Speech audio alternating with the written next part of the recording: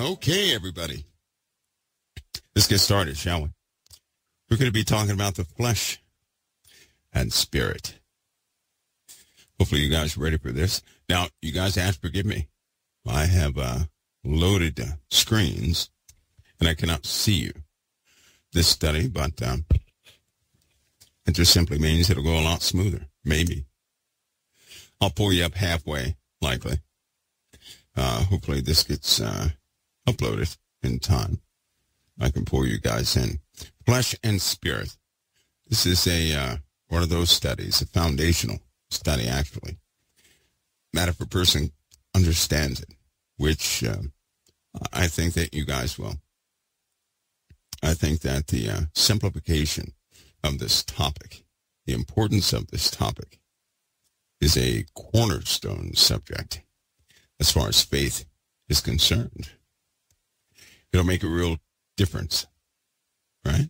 Especially to get rid of those uh, uh, stagnation in your life. It'll certainly help you get rid of that. But most importantly, right, it's going to give people a new perspective, um, motivation behind their belief, Christianity. Because sometimes, sometimes feeding into the paradigm of conversation and lots of hearing. Sometimes it seems like, you know, people are, they've reached a plateau to a degree, right? A plateau. And we don't want to reach that plateau, right? We don't want to do that. Excuse me. My throat here. I think I have uh, debris in my throat get straight. Let me pull up one window. Mixlr. I'm going to pull you guys up real quick. You're the fastest. So let me pull you guys up real quick so I can see if you guys have good sound or not. Just to verify that. It'll be good for, um, it'll be a good thing. All right, stand by. Okay, I can see you guys now. Do you guys have uh, good sound? Good sound out there? Okay, 5-5 on Mixlr. All right, stand by. Everybody stand by. I, I tell you what, let me give it two more minutes. It says it's in the yellow, which means it's not balanced yet. So give me two more minutes. The sound should be balanced, and then we'll proceed. Okay? Two more minutes. I'll be right back. And if you guys want to, I'm going to start Galatians. Oh, I'm sorry. No, I'm not going to start Galatians. Not going to do that. This, this, by the way, this subject, you may not think is controversial at the moment, but you may, right? You may. You may think it's controversial. Also, we're going to start at 2 Corinthians 5. Would you guys turn there? 2 Corinthians 5. You guys there yet? 2 Corinthians 5. We're going to start there. This read opens up quite a bit. So if you guys give me some latitude as far as the conversation that will be had at, at um, when we read this, try to hear the whole thing. Try to hear the whole thing, right? Try your best to hear the whole thing. All right? 2 Corinthians 5.1. For we know that if our earthly house of this tabernacle were dissolved, we have a building of God and a house not made with hands, eternal in the heavens. For in this we groan, earnestly desiring to be clothed upon with our house, which is from heaven. Pause. Let's take a pause. We have to handle this. And, and, and this, by the way, is precept of the conversation. It's all part of the precept. Uh, this is, it begins by talking about this earthly tabernacle being dissolved, done away with, your body being done away with, right? That we know that if our earthly house of this tabernacle were dissolved, right? We have a building of God, a house not made with hands. So if it's not made with hands, we're not talking about uh, uh, uh, something constructed out of wood or stone or metal. That's not what we're talking about. We're talking about a vessel, a body, a prepared body for you, which is a temple. It's named a temple because it houses something holy, the Holy Spirit, right? And the Lord, right? Which are uh, uh, one and the same. That's why Jesus said, I and the Father are one. The Holy Spirit being the Spirit of the living God, right? Poured out on all flesh, correct? That's in Acts chapter 2. So your vessel can house the Holy Spirit, can house Christ, can house holy things. It can. It has that potential. That potential. Okay. For in this we groan, earnestly desiring to be clothed upon with our house, which is from heaven. How many desire to be clothed with their house, which is from heaven? How many? Do you really? How many of you groan, you have an earnest desire, an honest desire to have a heavenly body? How many have that desire? Because if you have that desire, right, then you have comprehension of self. You have comprehension of self. Consequently, to have something according to the flesh is according to self, according to your natural understanding. Boy, we're going to get somewhere tonight. So most agree that they have an earnest expectation, right? Or, or they would like to have a glorified body or a heavenly body, a house which is from heaven, your body which is from heaven. In order to have that desire, that sincere desire, right? you're going to have to look at something.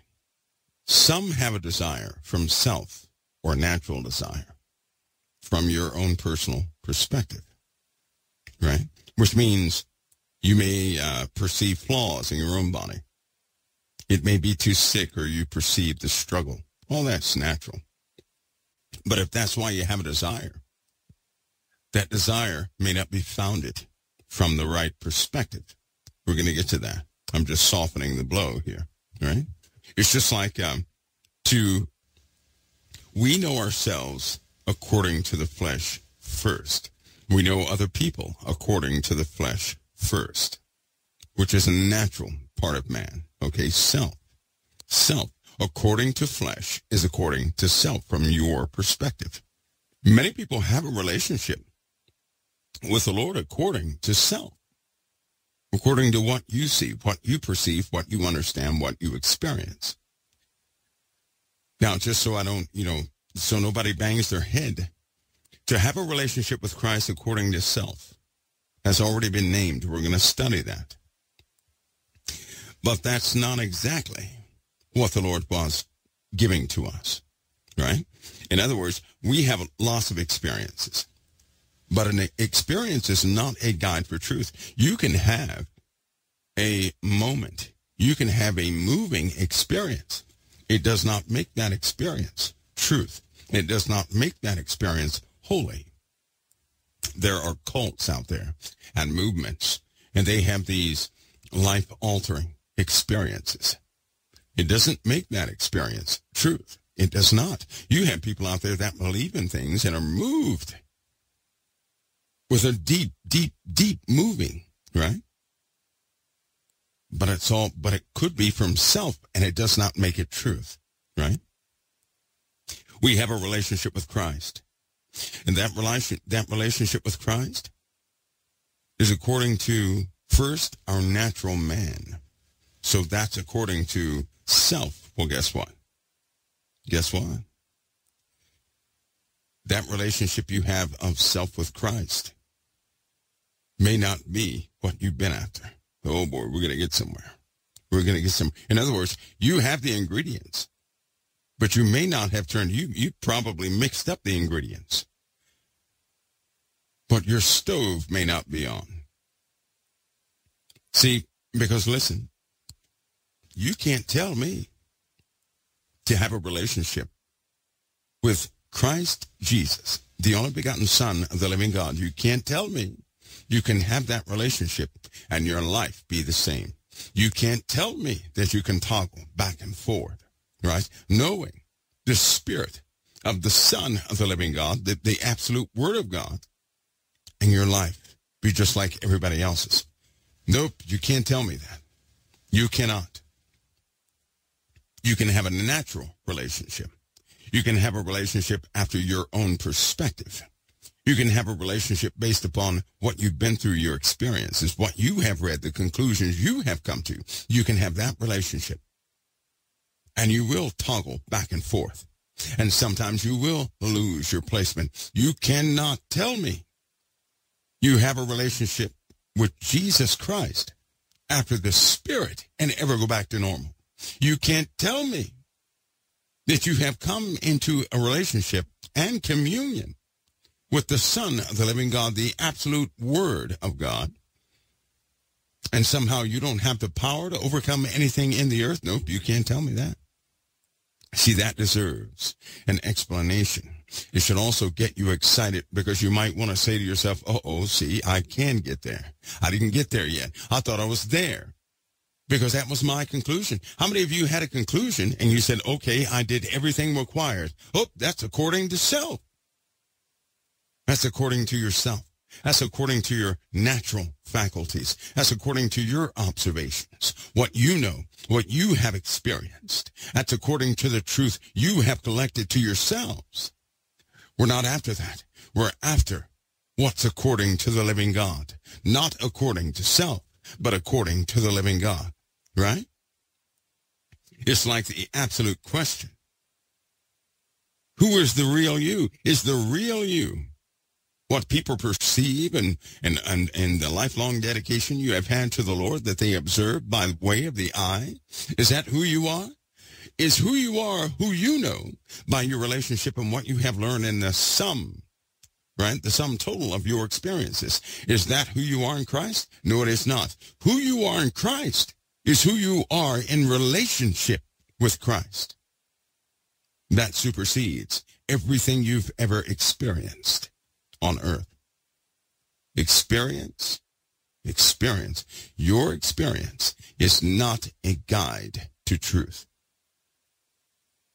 That door of truth has been opened up, and it is not by your experience. We're going to get somewhere with this.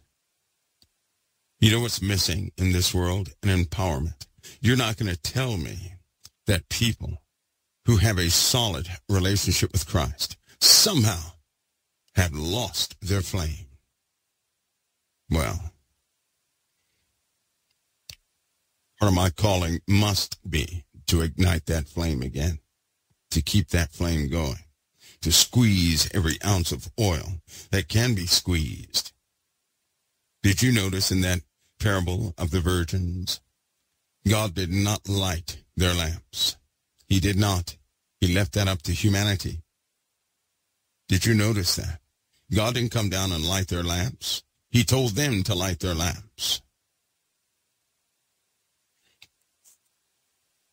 Back to Corinthians.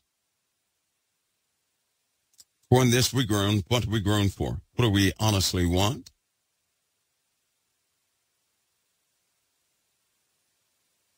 That we have a building in God, a house not made with hands, from the eternal heavens. We earnestly desire to be clothed upon with a house which is from heaven. If so be that the being clothed, we shall not be found naked. If so be that being clothed, we shall not be found naked. To be found naked, to be found open, to be found not covered, right? If you don't have, if you're not clothed in something, then what are you? You're nothing. You're not, you're unidentifiable. That's what you are. That's what you are. You don't have an identity. Whose robes do you have on? Whose garments do you have on? Right? That's part of your identity, almost like a uniform, but it identifies you. Right? Let's continue. Plus, it grants to you your identity. Now, it's much more than like a shirt or a uniform. Let me take that back. Let me take that back. It is much more than a uniform. Right? To be clothed is to be covered. To be covered is to be able to exist. To be contained, to exist, to be someone. If you have no garments, you're no one. You have no identity. You're floating to and fro around and can be clothed with anybody's garments. When you already have garments on, you already have an identity. And it's founded within the one you got the garments from. So if you have heavenly garments, your identity is bound in the heavens. Right now, you're clothed with coats of skin. Do you know that? You're clothed with coats of skin. So everybody says you're a human being. That coat of skin is of a specific type of flesh. In the Bible, there are different types of flesh. Different types. So animals are clothed in a few types of uh, flesh, right? Fish are clothed in another type of flesh. You're clothed, and we say we're human beings because we have coats of skin. And what does that do? That makes us individuals. That gives us a portion of an identity. What are we after here, though? What are we after here in this reading? Desiring to be clothed upon with our house, which is from heaven. That God give us an, a direct identity, not born of this earth, not from this earth, but from the eternal realm, from a perfect place. Not something we inherited from the earth, but from the living God. Our eternal identity. My, my, see how different that is? Let me continue. For we that are in his tabernacle do groan, being burdened, not for what we would be unclothed, not for that we would be unclothed, but clothed upon, that mortality might be swallowed up of life. One more time, because you guys didn't go, oh. here it is, 2 Corinthians 5, 4. For we that are in this tabernacle do groan. Those people that are in the flesh, that are alive, that are human beings, we do groan. Being burdened. You're being burdened. Now listen, this does not apply to those who are outside of the relationship with Christ. If you don't have a relationship with Christ, this does not apply to you. You won't be able to make sense of this. Why would a person, why in the world would a person that's in this earth groan? Now, what, what are you groaning for? Something else. Not just anything else, but specifically your eternal body of the Son of the living God and the Father not to be E.T.'s son, not to be some new creature, not to be reincarnated, right? Not, not, not any of those things. Not, not to be a different person either. For we that are in this tabernacle do groan, being burdened, not for that we would be unclothed, right? Not to be stripped or to be stripped of this human flesh. No, not that. Not to become something that's not human, has nothing to do with that. But clothed upon, that mortality might be swallowed up of life. That means to have your identity intact, you have to look at that language. He's saying, for we that are in this tabernacle do groan, being burdened, not for that we would be unclothed, not to have some brand new, spanking brand new identity, not to be disconnected, from what you are right now. You see, you have to have a relationship. See, do you see what this is saying? 2 Corinthians 5, 4. They're not groaning to be some sort of non-human. See, oh, oh, oh, here we go. They're not groaning to be a non-human. No, they're groaning to be clothed with heavenly garments. That means who you are is intact. Now, how can this be? How can this be? How can that be? How can that be? Let me tell you what most people want, and it's not this. Most people want absolute disassociation with who they are. They want to become somebody nobody else knows, a brand new person, a brand new start. That's what they're after. That's not what we're talking about. Uh-oh. Now we're getting somewhere because they're not groaning to become some new individual. That's not who they're groaning to be. They're not groaning. Paul is not groaning to become, you know, some other guy. That's not what he's groaning about. He's groaning to be clothed upon from garments from heaven. So that mortality, so that th- this short lifespan, right? These things you're not able to accomplish will be taken away. Oh, see, now we're getting somewhere. You, you see how sometimes people's minds have been in escape. I gotta escape. I gotta get away. I have to get away. I'm going to become something else and nobody's going to know who I am. Wrong. Don't groan for that. That's running away. Nowhere in the Word of God do you ever learn a principle of running away. You never learn a principle of running away. God made you who you are. Listen to me, folks. God made you who you are. Our problem is we've been listening to the world who teaches us to become something else. That is not what God teaches. God is thorough from the beginning. He made no mistakes. He did make not one mistake. You are not a mistake. You've been listening and guided by a voice of the world who would tell you to abandon who God made you to be and to become somebody else in the world. Get rid of that mindset that's nowhere close to sobriety.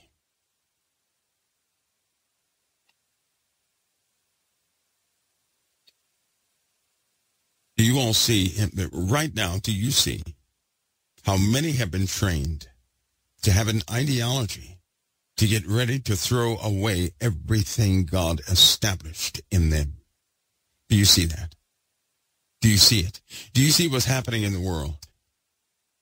how people are moving away from who God made them to be. Listen, you ready for this? That's why homosexuality comes with, is just outside of God's will. Why? Because you're becoming something God did not create you to be. God didn't make a mistake. He did not. The world is seeking to redefine people, to have them put on strange garments. God knew what he was doing. He made no mistake. You were fearfully and wonderfully made who you were in the beginning. It is the world, the world who motivated you to change yourself. God didn't motivate you to do that. You were always accepted for who you were. Always. But your interpreter, which was the world, lied to you. God knows exactly what he's doing.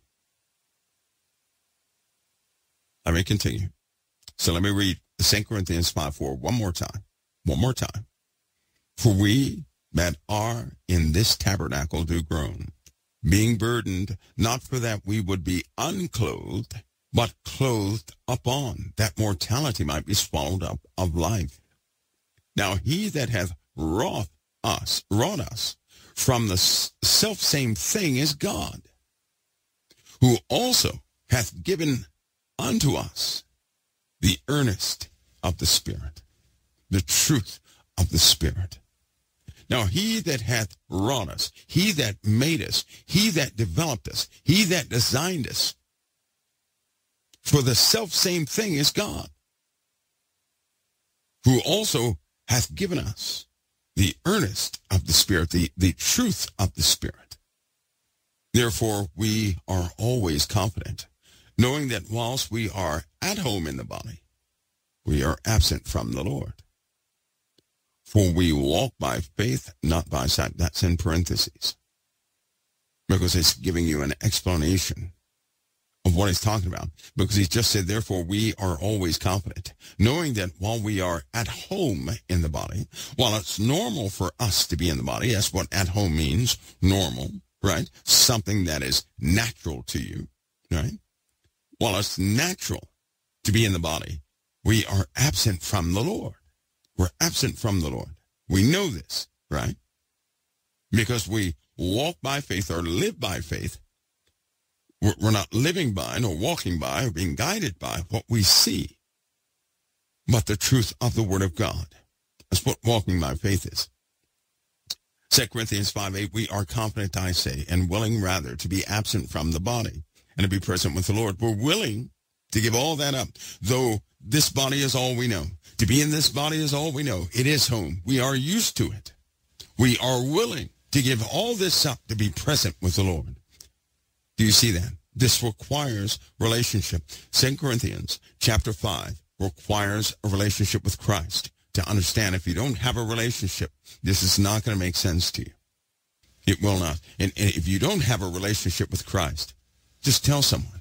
Tell someone in COT. Just tell someone in COT. Because that door is open directly to you. That's what all this labor is about. So that you get to know who the great physician is. So you can come into the fold for real.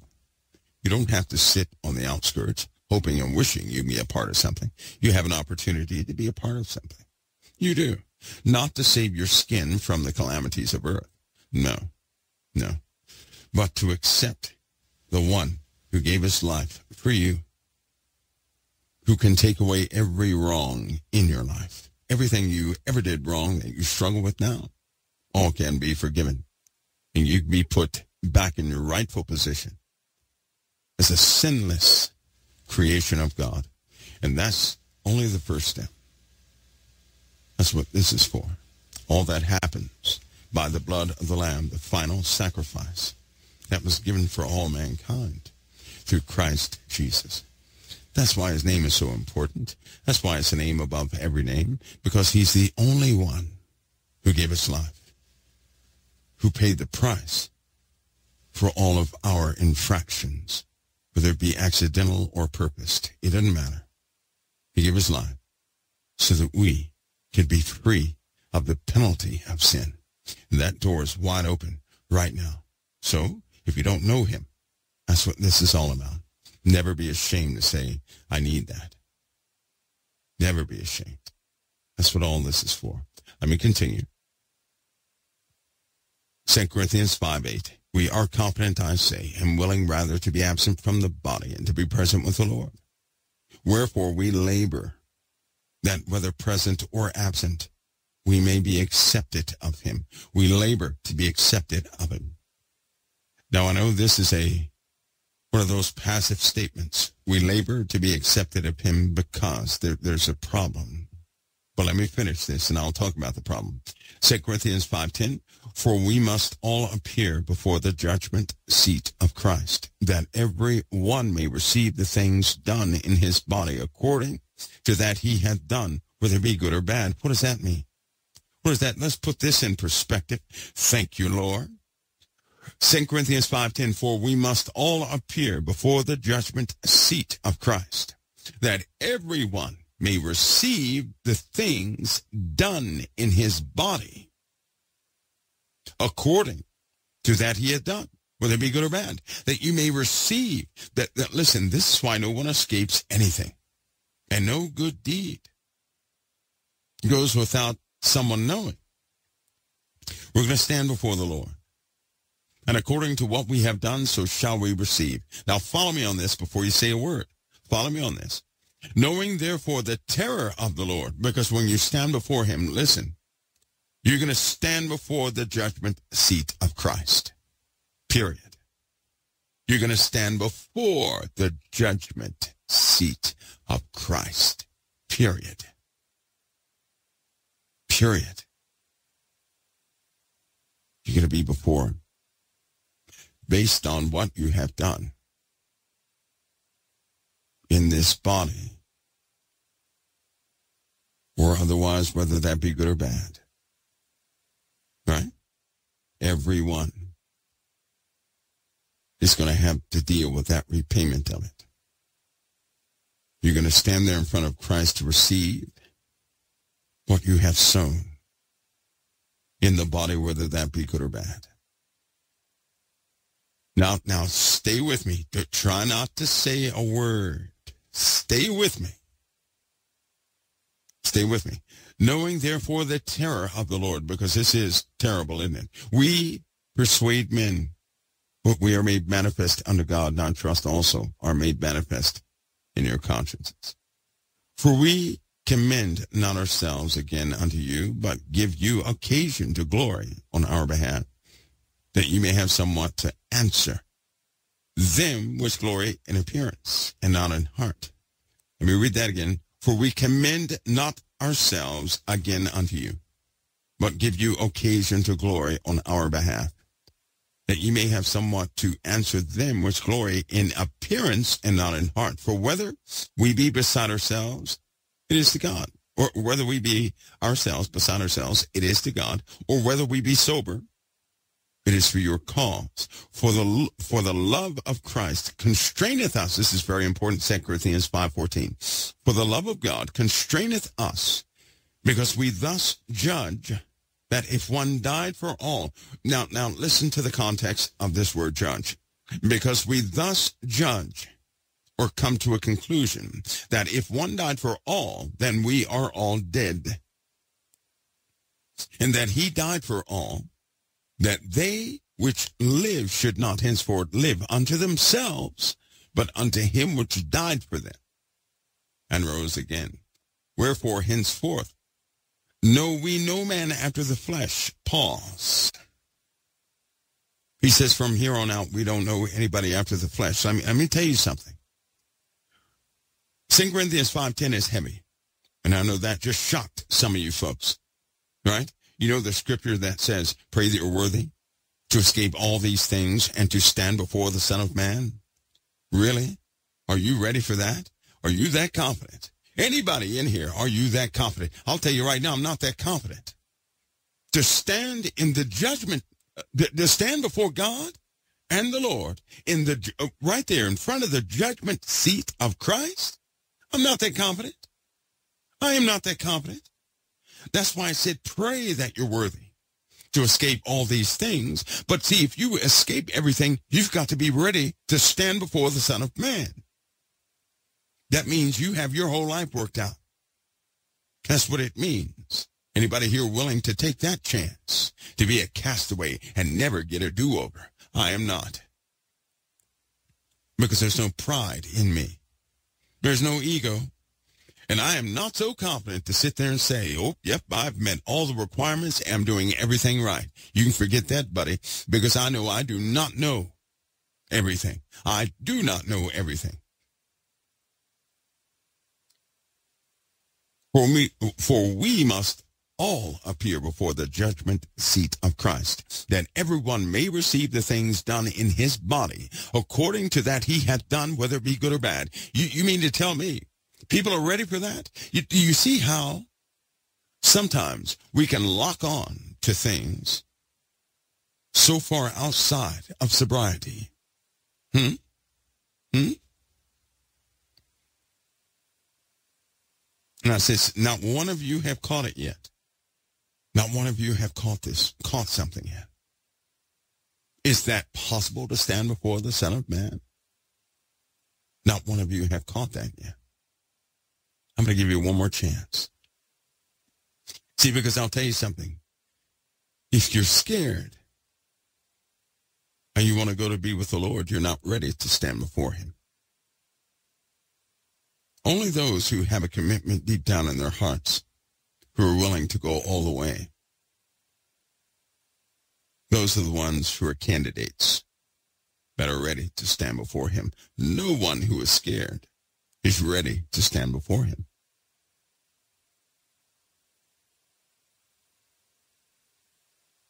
No one. Because to stand before him is to give an account.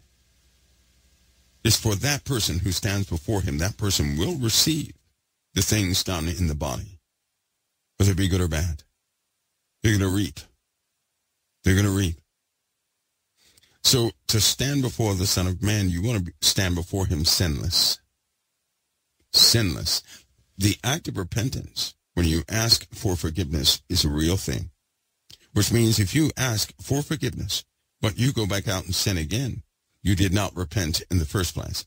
Because to repent literally means to turn away from. The COT definition is turn away from and never do again. When you repent, you're done with something. You're not doing it again, but it is God who gives us knowledge of what to repent for, which is why you have to pray. How many of you have noticed throughout your life, not all at one time, but throughout your life, the Lord will make you aware of areas in your life that are full of sin. And over time, you'll say, thank you, Lord. I would have never known that unless you brought that to my attention. And then you repent. You don't repent of everything at one time. You do not. God makes you aware of what you're doing over the course of time. He didn't overwhelm you with everything all at one time. Now, if we're honest and truthful with ourselves, we know that God has shown us over time areas we require repenting in. We know that. So what does that tell you? God knows your exact timing. Stop being so frightened. God is working a work through Christ in you that is powerful and thorough. And it will end in absolute victory. Stop being bullied to want to escape the earth so bad because you believe the stories of everybody else. Stop doing that. That is moving by somebody else's word. You are to only move by the Lord's word, not by my words, not by anybody else's words, but the Lord's words. Right? Don't let me talk. You get scared and say, oh, I want to leave tonight. Stop doing that. Stop doing that. That's how the blind lead the blind. You guys know what the blind leading the blind is? That's when flesh leads flesh. Both fall into a ditch. That's what that's about. It's about flesh leading flesh. So me in my natural state, with an impure mouth, speaking. And if you act upon those things I'm speaking about, you're going to fall into the same ditch I just fell into because you became fearful of a construct that was spoken by flesh. You're not to be moved, but by the words spoken by the living God, not by men. And see, listen to me. That's why the world has taught you obedience through education, through your jobs, with continual threats.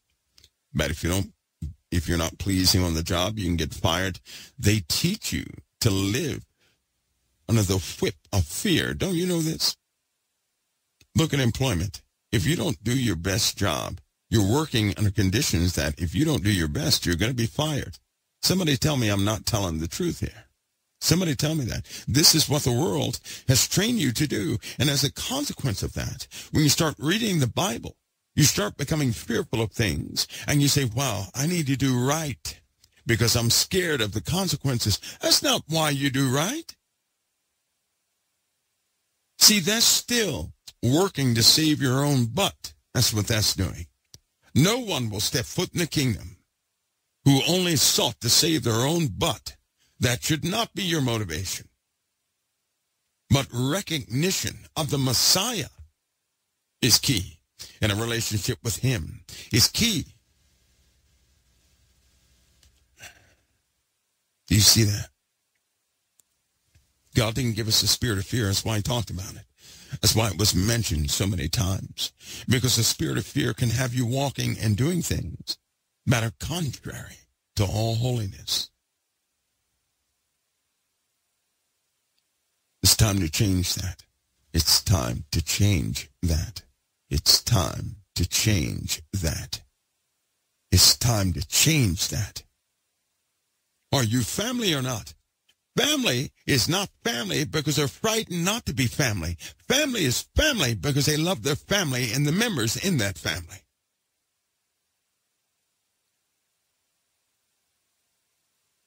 Now you get a bunch of strangers together under a hammer of cruelty and people will be family out of fear. God's family is not family out of fear. God's family is family bound in love. It's bound in love. Nothing is outside of love. So it's not fear. It's not because you're afraid, because you're frightened of what you might endure if you're not family. Don't you know, the Bible even tells us as how we came to Christ. Because everything fell apart. And for a lot of us, he was our last chance. And those of you in whom he was your last chance, he turned out to be your first choice. Hmm? My goodness. Stay with me now, everybody. Stay with me. Hmm? Stay with me. Somebody says, what does it mean to work out your uh, relationship with fear and trembling? Fear is respect. Don't forget that word fear and trembling. Fear is respect. To work out your own salvation, right, means you cannot be saved according to the changes in my life. You have to search deep the Lord in your life. You cannot listen to me and expect all salvation. You must have your relationship. When you work out your own salvation, what are you doing? You're solidifying your relationship with Christ. That's what you're doing. You're not putting the relationship down. No, no. See, because if you're serious about being a family member, you're going to study hard about that family because you want to be pleasing to the patriarch of that family. Correct? And if you want to be a family, if, if you spotted a family in the earth that moved you so much that you wanted to be family, listen to me, you would have to already know about that family, wouldn't you? You'd have to already know. You would have to have already investigated that family. You would also have to know other families.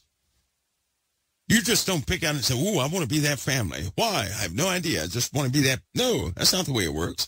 So when someone wants to be saved, do you not know that God has a process? He does.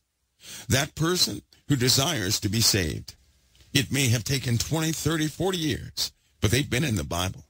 That person has heard someone preach. That person has been drawn to God on and off throughout their lives. And then they start to see the world in a very real way. In fact, right before you're saved, you start seeing the world for what it is. You do?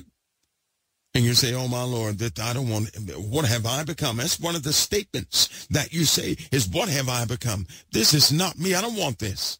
I don't want this. That's what happens when God opens your eyes. One of the first things you said was, I don't want this. It's one of the first things. And then the Lord gives you a moment of understanding enough to make an, a truthful choice. He shows you what you have been.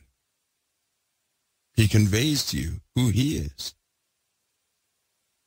And if you truly belong to that family already, you begin to identify. When you identify, that's when you accept. That's when you voice your truth, your desire to be a part of that family.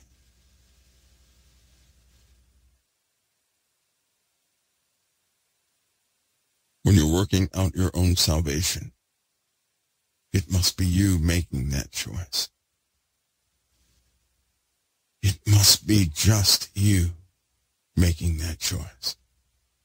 Just you working out your salvation and seeking, seeking all elements of that relationship yourself. It must be authentic.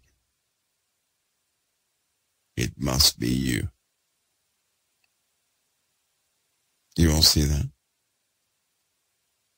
See, when, if, if everybody who knew the Lord in my life died, right? Or let's put it this way. If everybody I looked up to in the Lord, if they all of a sudden were in a backslidden condition, it would not faze me. It will not interrupt my relationship, not one millisecond. It won't. Because my relationship is with Christ, based in my authentic self, not based off flesh, based off a true desire of the depths of who I am. It has nothing to do with anybody else. So that if anybody else falls, I won't even have a hiccup. My relationship with Christ is not connected to anybody else but Christ. So you work out your own salvation. See, but unfortunately, there are people in this world today that if their leader fell, they would fall too. They would lose hope. The key is to emphasize the relationship with Christ so that that person has an intimate relationship.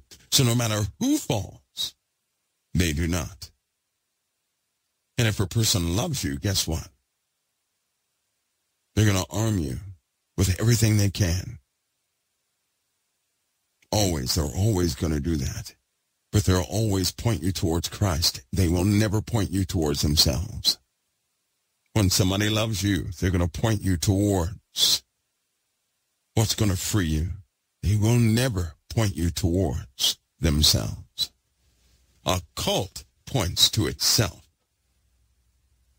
A family points to the solution.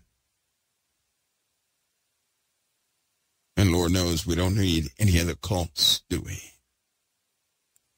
We don't need that. But I'm not telling you guys anything new. Let's continue. Let's continue. After all this, it, it says, it says this. 1 Corinthians 5.14, For the love of Christ constraineth us, because we thus judge that if one died for all, then we're all dead. If one died for all, then we're all dead. What does that mean? Christ constraineth us.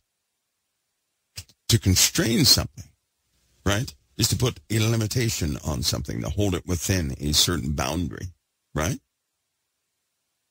So for the love of Christ constraineth us. For the love of Christ constraineth us. Will only let us go so far because we thus judge, we come to the conclusion that if one died for all, then we're all dead. If Jesus in the flesh died, he did not die in the spirit, he died in the flesh. If he died in the flesh for all, then all are dead to the flesh. When you're in him, you're dead to the flesh. What does that mean? That means your flesh does not have rule over you. And that he died for all, that they which live should not henceforth live unto themselves. Remember something. Flesh is what? What is flesh? Flesh is what? the natural part of man, yes. But flesh according to flesh equals according to self. It's according to you, to what you think, to what you see, to what you have concluded. Right? We're not after that. We're not after anything concerning flesh, but of the spirit, which is God. Right? We don't want the word according to self. According to flesh, we want the word according to who? The living God.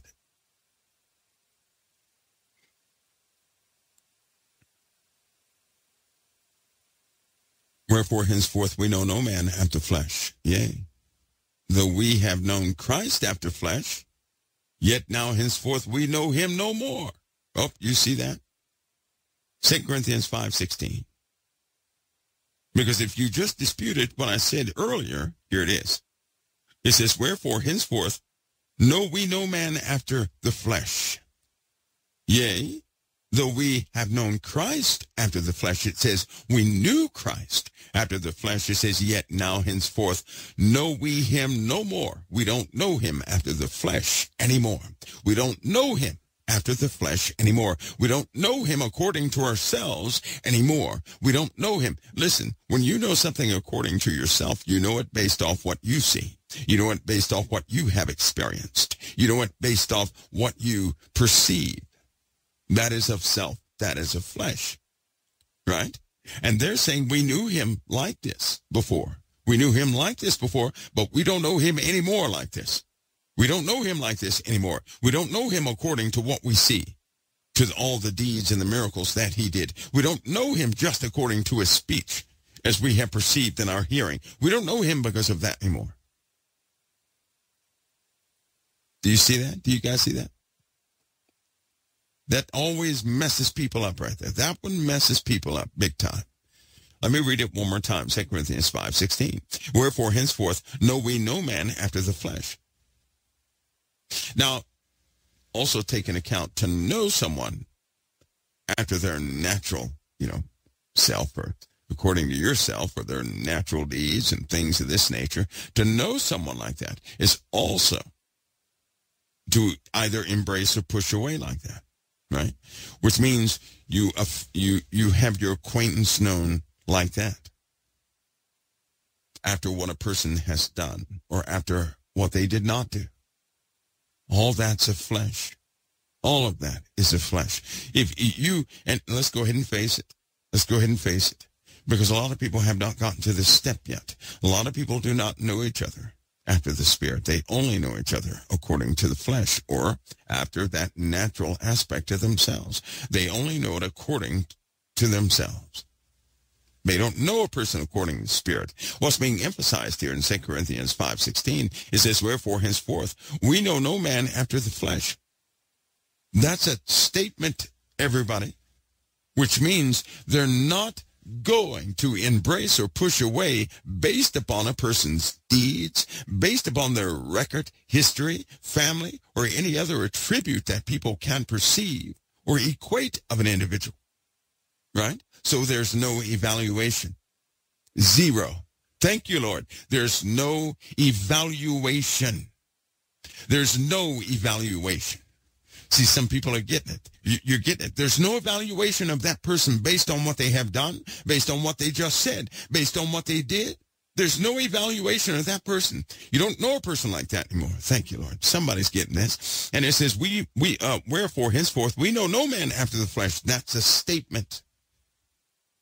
When it confirms something, yes, though we knew Christ after the flesh, yet now, henceforth, we know him no more. That means we don't know him anymore after the flesh. That's another declarative statement. Listen, therefore, if any man be in Christ, he is a new creature. Now you see why. If any man be in Christ, he is a new creature. Well, you know, to be a new creature means your flesh is truly mortified. You know what that means? That means who you are is not based on where you have been or what you have done. Thank you, Lord. It's not based on the sum total of your experience here on earth. Thank you, Lord. That's not what it's based on. That is not who you are is not based on what you've done. See, listen, side note, that's what the Essenes wanted people to believe. That's what the Gnostic Gospels sometimes emphasize. Works, works, works, works, works. Boy, that was just nullified. Don't worry, I'll cover that later. Let me read that one more time, 2 Corinthians 5.17. Therefore, if any man be in Christ, he is a new creature. Old things are passed away. Behold, all things are become new. All things are become, you're not known anymore by anything connected to your flesh. That's possible through Christ only. That's why. That's why. Listen, that's why your relationship with Christ, according to flesh, has to change.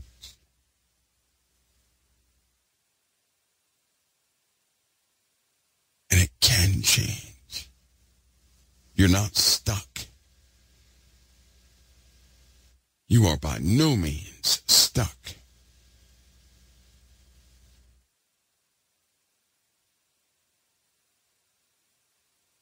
No means.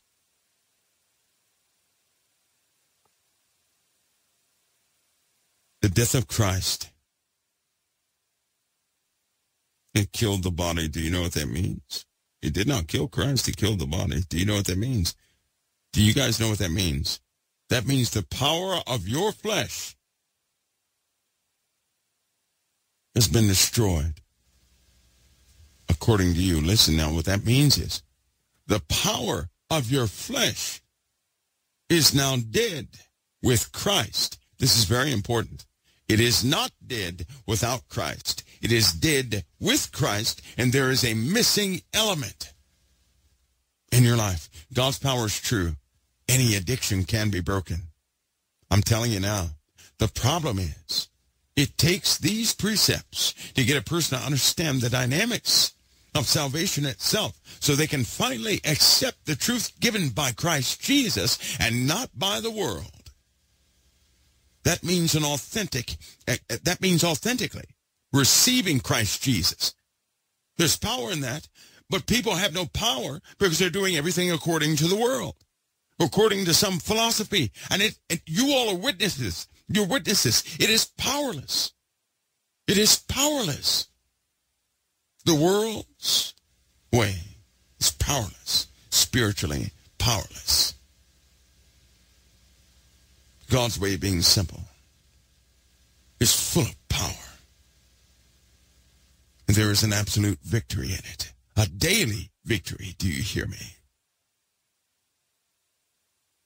Did Christ stand in the earth in the Old Testament? No, he did not. Nor did the prophets enjoy the company of the Christ. That was reserved for you. Even the apostles who saw him knew about you those who would not see him. And I tell you now, your faith is more than theirs. They believed because they saw. You're the ones who believe and you have not seen. If they had enough faith to move their mountains, you're the ones that have not seen. And nothing can compare to the faith you operate by. So stop allowing Satan to tell you that your faith is weak. You cannot have weak faith and believe that the Messiah is.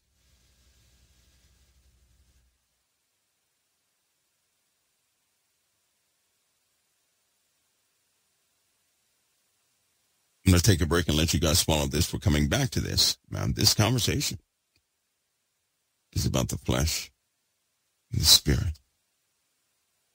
Are you all starting to see some? Now, no, it's a bit fuzzy still. We have some more to cover. We have some more to cover. We have a lot to cover. I know it's a bit fuzzy. Hang in there. Because this should have broken down the paradigm that the world gives where people have zero power. Let me, let me tell you a mystery. You have all power. But you've been convinced never to exercise it, never to walk in it. Let me say one statement that you'll understand. You've been walking in a contradiction, but you couldn't figure out the contradiction. A walking disturbance. Hmm? We'll clear that up when I get back. We'll clear it up. It's almost like smelling something, but you can't quite get the taste of it. Hmm? Can't quite get the taste. So you know you're close, but you can't quite get it.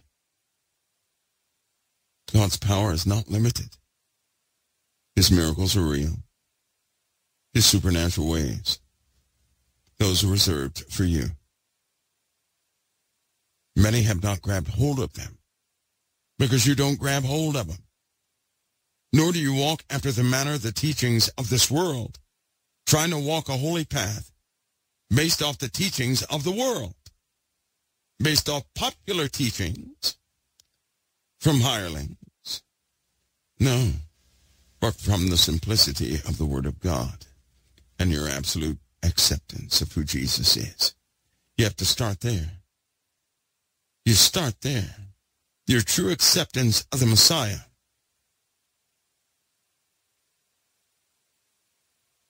Listen, when one truly accepts the Messiah, simply accepting him is everything. You know you have truly accepted the Messiah when you seek nothing else. Thank you, Lord. When you seek nothing else, you have found him. If you're still seeking, you have not found, because those who find what they're looking for are no longer searching, are they? But if you have not found what you're looking for, you're going to be searching for something you don't know what it is.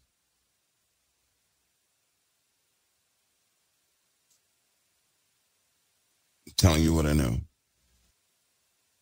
Be back in a few minutes right here at the Council of Time. I am back. All right, back to our study here, guys.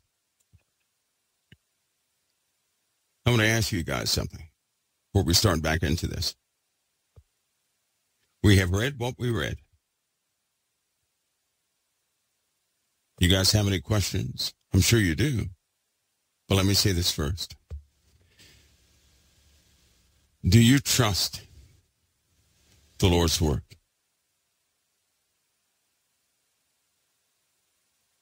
I personally trust the Lord's work. I trust this work.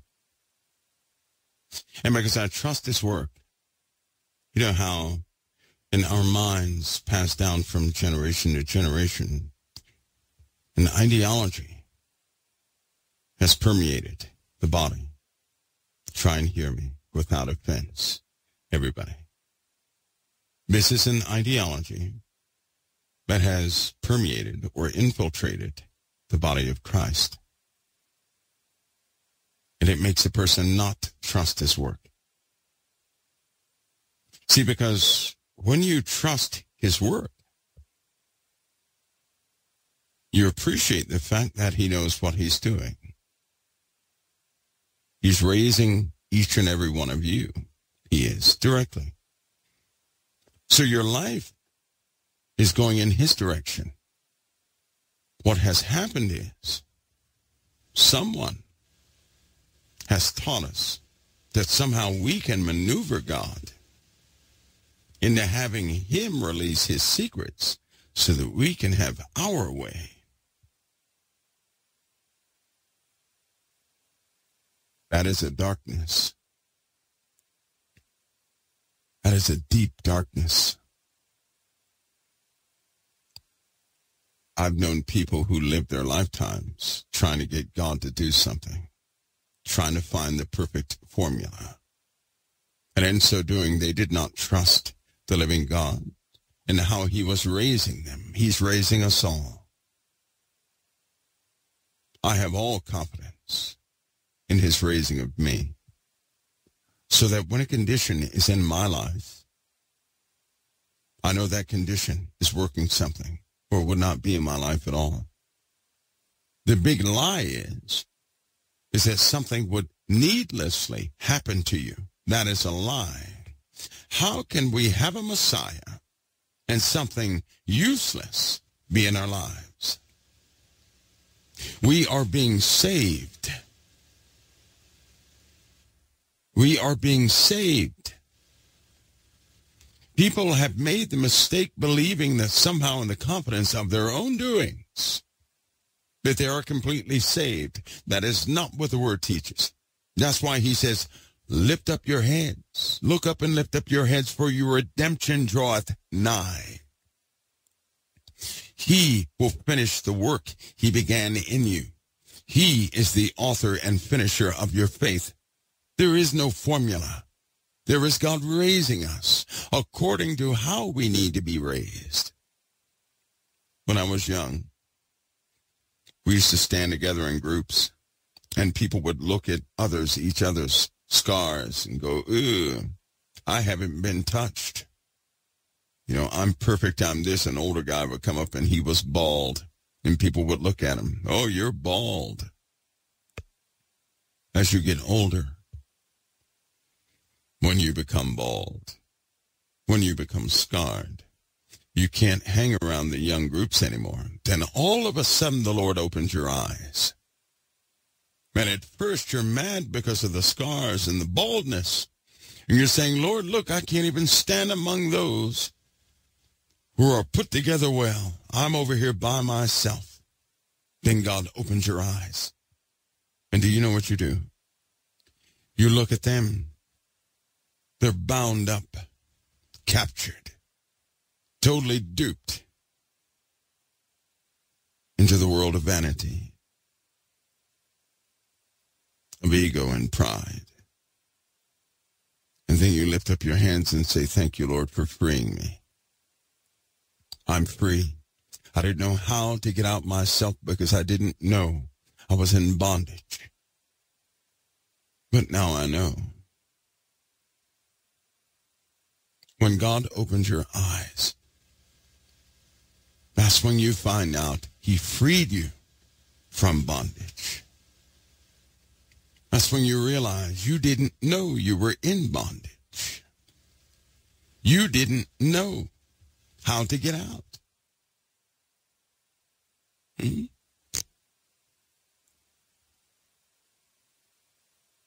Hmm.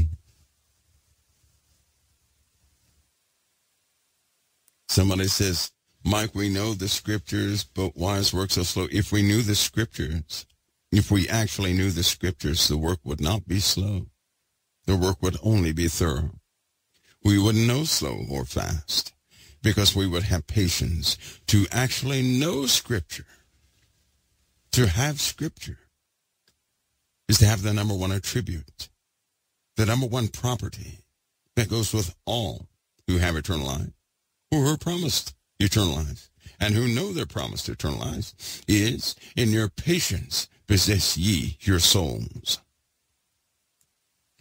That's a virtue you cannot do without. See, when we find ourselves rushing God, we have come to a conclusion before he has. When we try to rush our Father, we think we know better than him.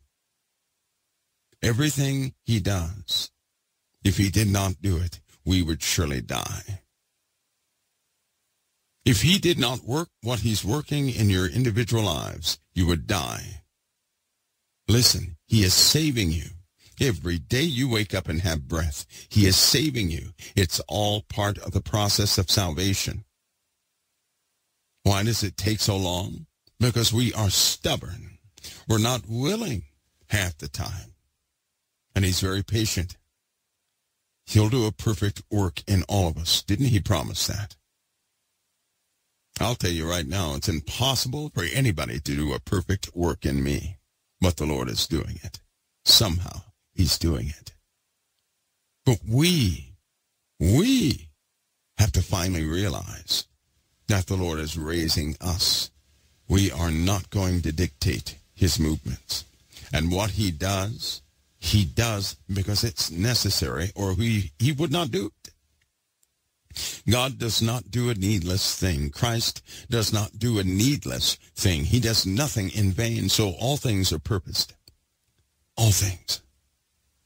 This is when you dig deep and you deny all things of your own flesh and you trust him as best you can. And you put your mind in his hands. Again, we didn't do it, but there's an ideology that has infiltrated the body of Christ here on this earth. And it has taught people that somehow they know better than God. See, if I had a commander and I was talking to another guy and I said, I don't know why this guy is just, what is he doing? Filling his thumbs. The only reason I would say that is because I can't perceive what he's doing. When you cannot perceive what the Lord is doing, it's always going to look like you know, too much time is being taken, right? Only when you see someone working on your behalf do you have any confidence and say, okay, they're working on something, I'm good to go, right? Because when we see somebody work, it's just like a broken car. If you have a broken vehicle or a broken house or something is broken and you took it to a shop and you don't see anybody working on your car, you're going to cross your arms and say, what is going on here? What are you guys doing? All of a sudden, they're not doing anything. They don't know what they're doing, right? Because you don't perceive them doing anything until you realize you were looking at the wrong car and your car was in about 50 pieces. Once you see your car in pieces and people working on the car, you're instantly fine. Nothing changed but your perception. Do you see that? What gives you confidence is your perception, not the situation, not the change in the situation, but what you perceive gives you confidence. When you see somebody working on your stuff, you instantly say, and confirm and affirm within yourselves, okay, they're working on it. They're good. They're, you get happy. But if you see no one working on it, you cross your arms, you're upset, you're mad because you can't perceive any work is being done. See that? Listen, the Lord is always working in our lives, always. There is not a moment of idleness with the Lord in our lives. Not one moment. So here's a challenge. Instead of looking at something like it was not supposed to happen, never do that again. Look at all things. Consider all things. And you'll see the hand of the living God working in your life every day of your life. Every day of your life. That's when your heart of thanks is multiplied. When we stop assuming that something was not supposed to happen. We've got to get out of the world of assumption into the realm of truth. Assumption is not truth. Knowledge is not truth. Experience is not truth. God's word is truth. His decrees are true. He is true.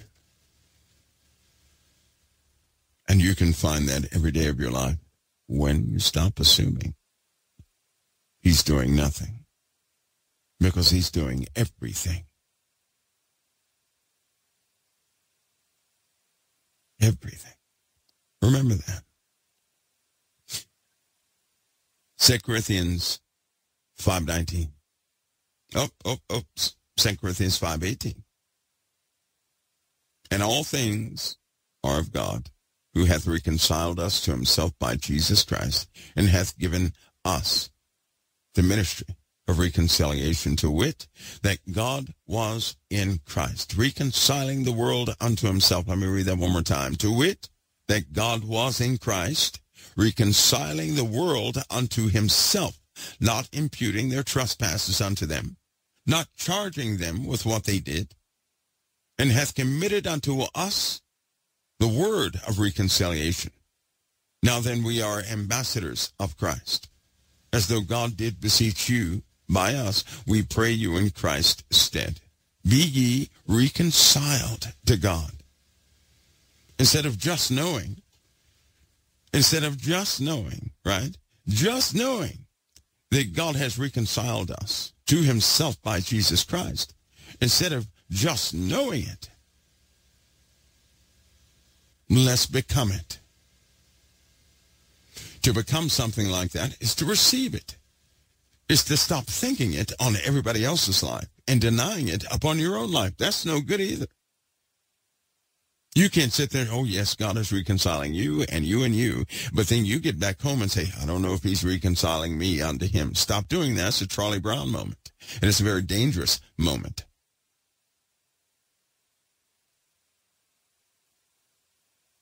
That also is a ploy to elicit a response. Do you hear me? That is a tactic and a way to elicit a response, to cause response out of somebody. Do you guys know that with each other, we have become operatives of deceit? in a lot of ways. When you make somebody else feel sorry for you, that's deceit, isn't it? That's causing somebody else to adopt a view of you that you want them to see you by. That is deceit. When you rule over the view of somebody else, that is deception. Do you know that? You know in the Bible when it says of the Antichrist, through peace he shall destroy many, of this person that walks on the scene, through peace he shall destroy many. He does the exact same way. He causes people to see things in his way. It doesn't mean it's going to be an evil way. It means it's his way. And we're not to do that.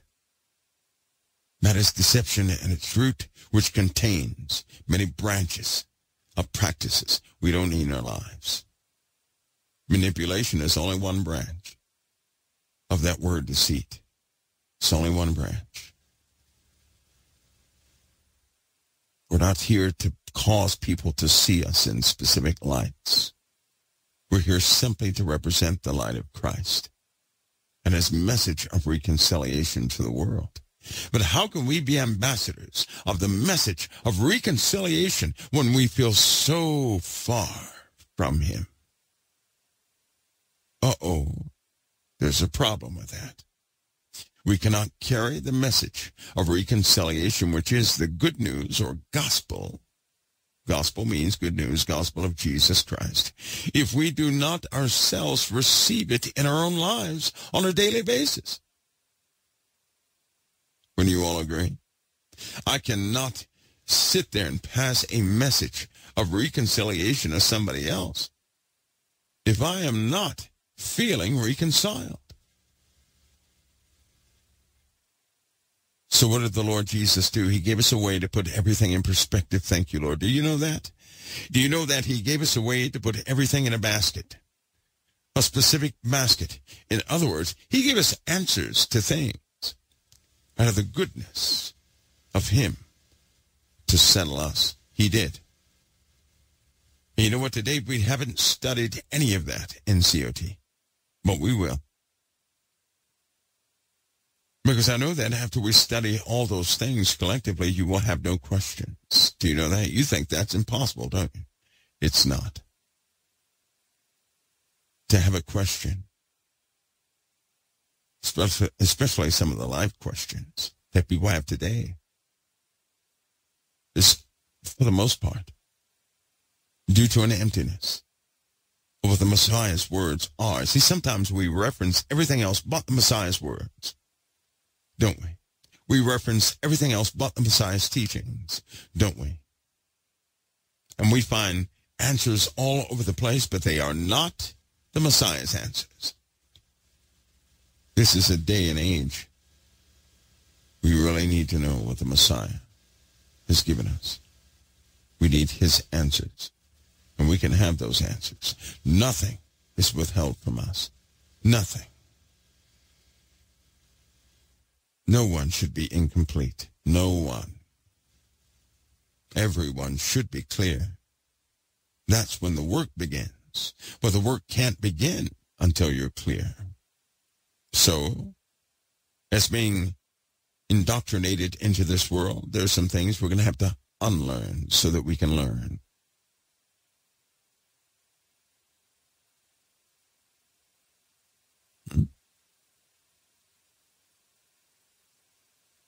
One more time, 2 Corinthians 5.20. Now then, we are ambassadors of Christ. As though God did beseech you by us, we pray you in Christ's stead, be ye reconciled to God. Be reconciled to God. For he hath made him to be sin for us. We knew no sin, that we might be made the righteousness of God in him. Let me read that one more time. For he hath made him to be sin for us who made him to be sin for us?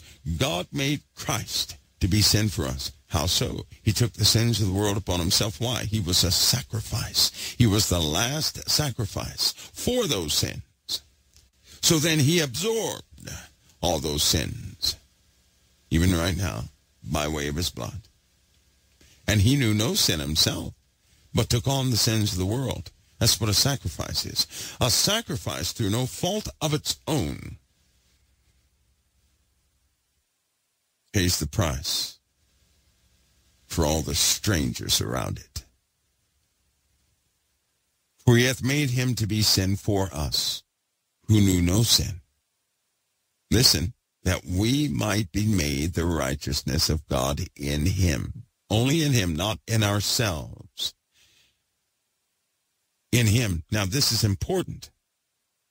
We are not the righteousness of God according to us according to what we think, according to what we have read, according to the sum total of our experiences. We are not the righteousness of God in Christ Jesus because of what we know, what we don't know, what we have done, what we pursue, what we claim to know.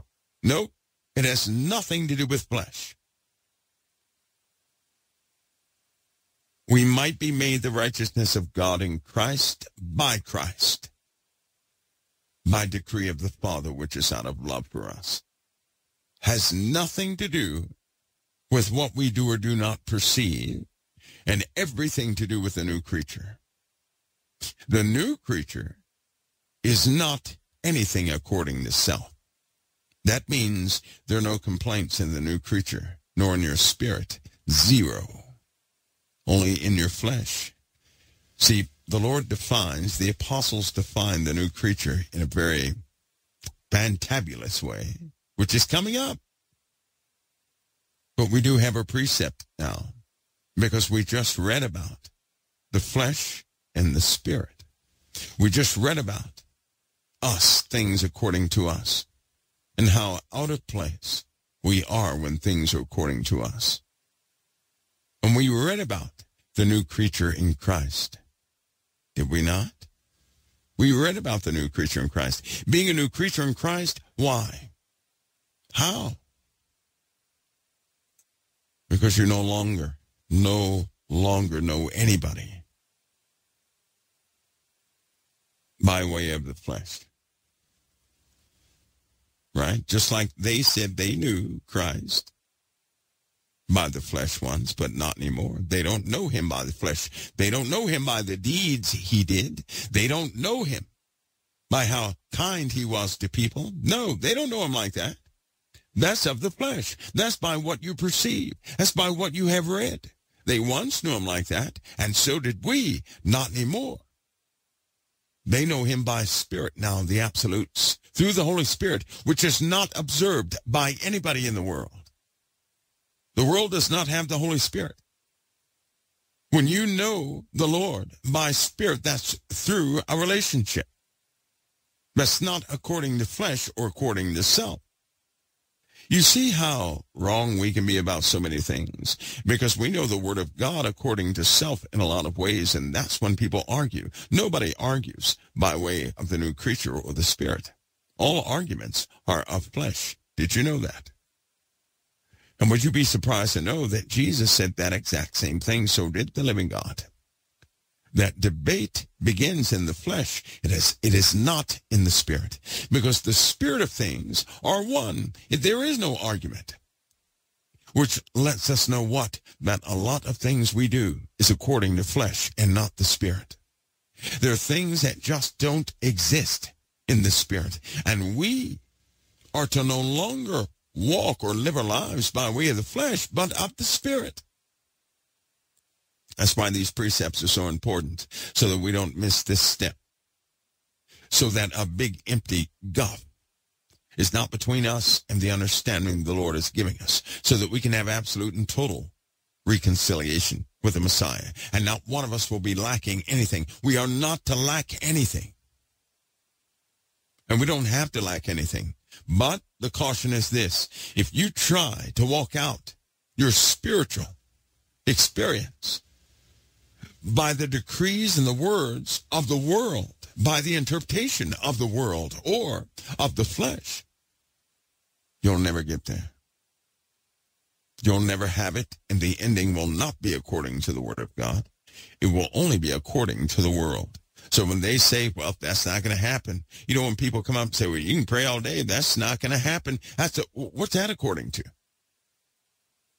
And when you do it the world's way, suppose somebody else in the world gave you some advice and said, why don't you try this? But see, that's according to flesh. That's according to their experience. My experience is not a guide to truth. Your experience is not a guide to truth. The truth is established. We may be partakers of that truth, but it is not anything that moves me on the earth. It is not anything of flesh. It is all of the Father. Do you guys see that? Remember something. The, these experiences that people have, right? These moving experiences, these dreams and movie, a lot of people have those. It does not make them truth. Doesn't make them truth. It does not make them truth. Truth is of the Lord. It's of the Lord. An experience is not a guide for truth. You know what the Lord said about truth? That it's it, that is within the Holy Spirit. The Spirit of truth is the Holy Spirit. And he said the world does not have it, nor can they have it. Because they can't see it. They can't see it, so they'll never have it. So as it turns out, the truth is what you haven't seen. Thank you, Lord. The truth is what people don't see. The truth can never be according to self because that would be a person's truth, which may not be truth at all.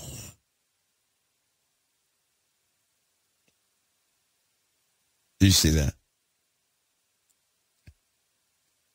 That's just a precept we were talking about. But you get the gist of it. The natural part of us, the flesh, what's according to us, to self is the flesh. The apostles, the apostle here said, we once knew Jesus, you know, that way by the flesh, but not anymore. We don't know him that way anymore. We don't know him that way anymore. That, that is so beautiful. That's so beautiful when he said that. That is beautiful.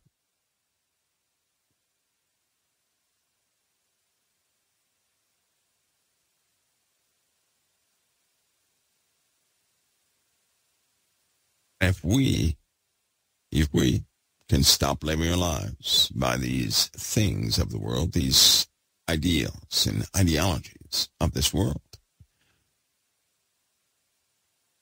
we'll make a step. Listen, for the love of Christ constraineth us because thus, because we thus judge that if one died for all, then we're all dead. And that he died for all, that they which live should not henceforth live unto themselves, but unto him which died for them. Listen, that's a big one. That those which live should not hereafter live unto themselves, but live unto him which died for them and rose again. Wherefore henceforth know we no man after the flesh. We don't know anybody after the flesh, though we have known Christ after the flesh.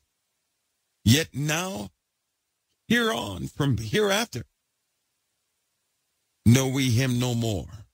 We don't know him anymore after the flesh, only after the spirit. And remember, after the flesh means what? According to self. To know something after the flesh is to know something according to you, according to what you see, according to what you hear, according to what you have perceived. But to know someone after the spirit is to know them by the spirit of truth by the truth itself, that unspoken thing, the thing you can hardly communicate. If somebody were to say, when's the first time you thought of Jesus? You could not give an honest answer except to say, I always knew he was real. I always knew there was a God. But I can't give you a date, right? Can't give you that. That's one of those intangible things, one of those identifiable things, yet, yet you have no moment for that. Right? That's truth. Truth is not held within the confines of even how we how we calculate time. Truth is far beyond that. And we can take part of that. So the apostles, they said from this point on, we don't know anybody after the flesh. We're not going to, that's a declarative statement. We're not going to know anybody after what they have done or what they have not done. If that person over there is lazy, we're not going to know him as lazy Bob. No. But by the Spirit. In other words, they began to see this world by truth. And they made a choice to let go of seeing things after the natural, selective ways of our flesh. They did that. That's awesome. And if you do that, you, you have that right to do that too. You have that right to say, okay, from this day forward, I will not know anybody in my life after the flesh. I will not. But I will know them spiritually. If you were to do that, do you not know that the Lord would compliment that? Do you know that? The Lord will always be a part of his own word. He'll always do that. Always. That's up to you. That's up to you. That's why they didn't, that's why they, that's why Jesus says, judge no one. Judge not that you be not judged. Right? That's why he said that. Because if you are identifying people after the deeds that they have committed, you're going to be known after the deed, after those deeds you have committed. In in this case, here we got to tackle something here. Remember this passage, 2 Corinthians 5:10. For we must all appear before the judgment seat of Christ, that everyone may receive the things done in his body according to that he hath done, whether it be good or bad. You remember that? We got to tackle that. I know it's spooky. I know it's scary. And I know that certain people didn't get this. Listen, listen. If you stand before the Son of Man, you'll stand this way. You're going to stand like this. But the Lord gave us a thousand messages. He did. He, he told us, he basically gave us instruction on how to stand before him. And we're still not doing it. We're still not doing it. He told us how. He did. He did. You know when he said, judge not that you be not judged, for whatever measure you judge somebody with, you're going to be judged. Remember that? There's a matching scripture for this. The same measure that you have looked at everybody else, you will be looked at. So that means if you're in the earth and you know people by the flesh, you can't stand before him yet. You can't do that. If you don't trust his process, you cannot stand before him yet. Can't do that. Do you know why? To, to not trust this process is to have passed judgment, even upon the Lord. You can't do that. You're not ready. Those who pray that they be worthy to escape all these things and to stand before the Son of Man. If you actually pray that with sincerity, you better get ready for life-altering changes that do not come with a receipt. You better get ready to be in total absolute conformance because who you will end up being is someone who does not see anybody after the flesh and you'll see all people after the spirit. Do you know what it takes to see no one after the flesh anymore? It takes understanding. It takes going through almost hell and back. That's what it takes. Because once you're done seeing the deeds of others, that means, first of all, you have fully accepted the Lamb because you're fully acquainted with everything you have ever done. That means you have enough compassion to keep the balance in your life so that when you see somebody in error, it'll never be enough to turn you away from offering that word of reconciliation. That means God has opened your eyes and you don't have any more questions. That's what that means. See, because it is true. When you have found something, right, you don't sit there and have questions about it. Correct? Correct? If I was ready to stand before the Son of Man right now, guess what? I would be standing before the Son of Man. If you were ready to stand before the Son of Man, guess what? You would be standing before the Son of Man. He's not going to have you stand before him and you're not ready. That's why you're still here. He's not going to have you stand before him to be condemned because you believe in him. That would be counterproductive, which would nullify the word of God. That's not going to happen either. When you're ready to stand before him, you will be before him. You will. And you'll be on time. You'll never be late. You won't, which means we have things undone. And because those things are undone, I believe that by way of the Holy Spirit, many vessels in the earth, God is bringing things forward through Christ and through his word to get us on track quickly. That's what I believe. I believe the Lord is doing a quick work right now, but we have to finally say, Lord, show me. We have to be ready to receive. And not act like we already know it. Come on now. All of us are guilty of that to a degree. I already know that. Isn't that what we do? I, I don't I already know that. See, we've got to be open and teachable. And more than teachable, we have to actually put God's word, his message of reconciliation. We have to first be reconciled. Time for us to be reconciled and stop sitting on the outside, empty, hungry, and thirsty. We're not to be quenched. We're not to quench the spirit. But we can sit right by the fountain. What's wrong with us?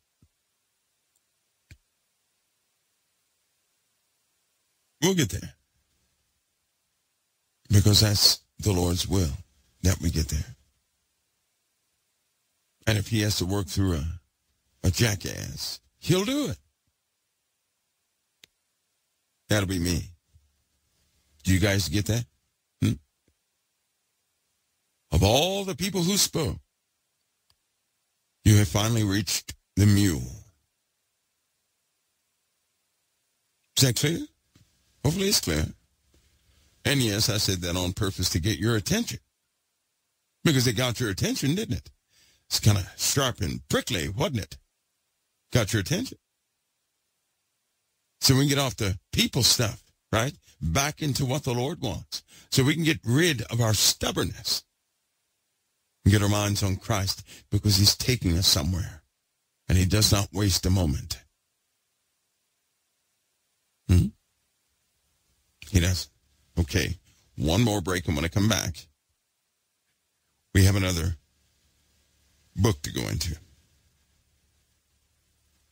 Yes, we do. Another book to go into. I'll be right back in a few minutes right here at COT, everybody. I'm back again. And let's get started, shall we? Now, guys, I have to take time with these scriptures. It looks like I'm going to run out of time, but it is the weekend. This weekend is not like last weekend. Actually, this is a very important topic to me. Why does this require so many scriptures? Because you guys may get lost. Not that I'm saying anything that's above your heads. No. Let me give you an example of the precepts we need. We just talked about the flesh and spirit, right? Here's the biggest one. Here's what it comes down to, and this is why we're going to finish this because we have quite a few chapters to go through, right? But we may not, we won't get to it all tonight, but we have to get to it tomorrow. Here's why. Here's why. Let me give you a small example. Most of you, you know yourselves, right? Most of you know yourselves. We all know ourselves. We know what we did in life and all this and the other. Certainly know our names, but we only know ourselves according to flesh. We know ourselves according to flesh. That is not the real us. It's not the real us. We only know ourselves after the flesh. So who are you really? You ready? You want me to tell you who you really are? Anybody? Anybody care to know? It's not going to mess up your paradigm, not this one. But this is why we're going through this, so that uh, everybody gets this without question, right? Again, when we know other people, we know them after or according to the flesh. We do. We discern all things through flesh, don't we? Don't we? We know ourselves after the flesh, don't we? We do. Who is the real you? If you're a new creature in Christ, then who are you really? You ready? Who you really are is how Christ sees you, not as you see yourself. You see? Do you all see that? It's kind of easy to comprehend, but we've got to cover some ground to get there.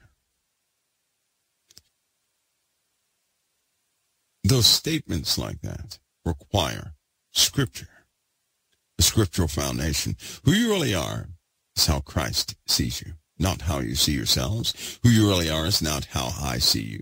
It's not how your friends see you. It's not how your family sees you. It's how Christ sees you. That's who you really are. And to be candid with you, most of what we've been doing, we have been doing after the flesh. Our understanding of the word is after the flesh. Is according to self, according to what we understand and what we don't understand. It's according to our experiences. It's according to us. What is the real word? The real word is according to the living God. The real you is who Christ sees you to be. That's why there's no condemnation to them that are in Christ Jesus, who walk not after the flesh, but after the Spirit. There's no condemnation. None. But we don't quite perceive it that way, do we? Because we can only see ourselves after the flesh. It is time. It's time.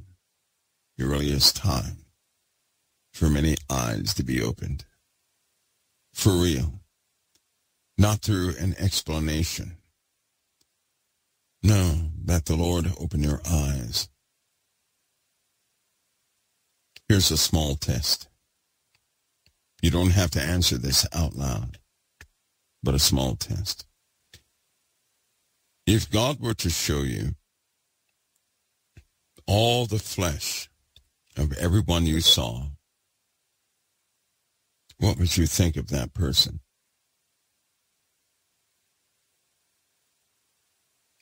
Let me give you an example of that. There are people who really love each other or did they did love each other until one found something out on the other and it ended the relationship. That's what happens. When, when your eyes are opened to the flesh of another, you find very distasteful things.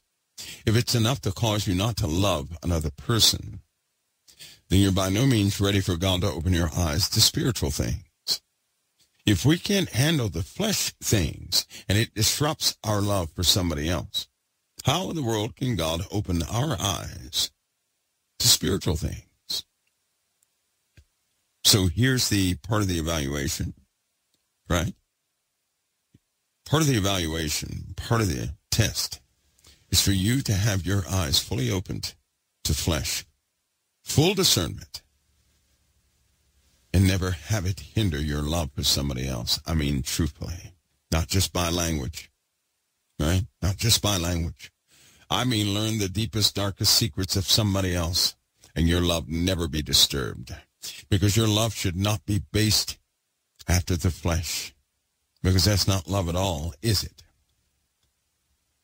If God is love, then love is in the realm of truth, which is not after the flesh at all but bound in absolutes within our Father. There's no way knowing the flesh of another should cause you not to love them. But we know that's not true, don't we? Hmm? That's why people hate certain people in the earth. That's why they dislike strongly people in the earth based off what they see, not based off knowing the person. You guys you guys know why I don't I never evaluate other folks. Why I never get into conversations and talking about other people. For me to know someone after their deeds, like these television people, you only know what the TV is showing you. That's all you know and what people talk about. And if that's enough to cause you to not like a person, the word of another, or uh, we've got a ways to go, don't we? We do. So we have to come to a realization by scripture. We need lots of scripture. And what those scriptures will do is fend off these supporting forces of the flesh. So we can be free enough, free enough in, in just a moment to consider something that the Lord can show us his truth. And we can decide and go forward from there.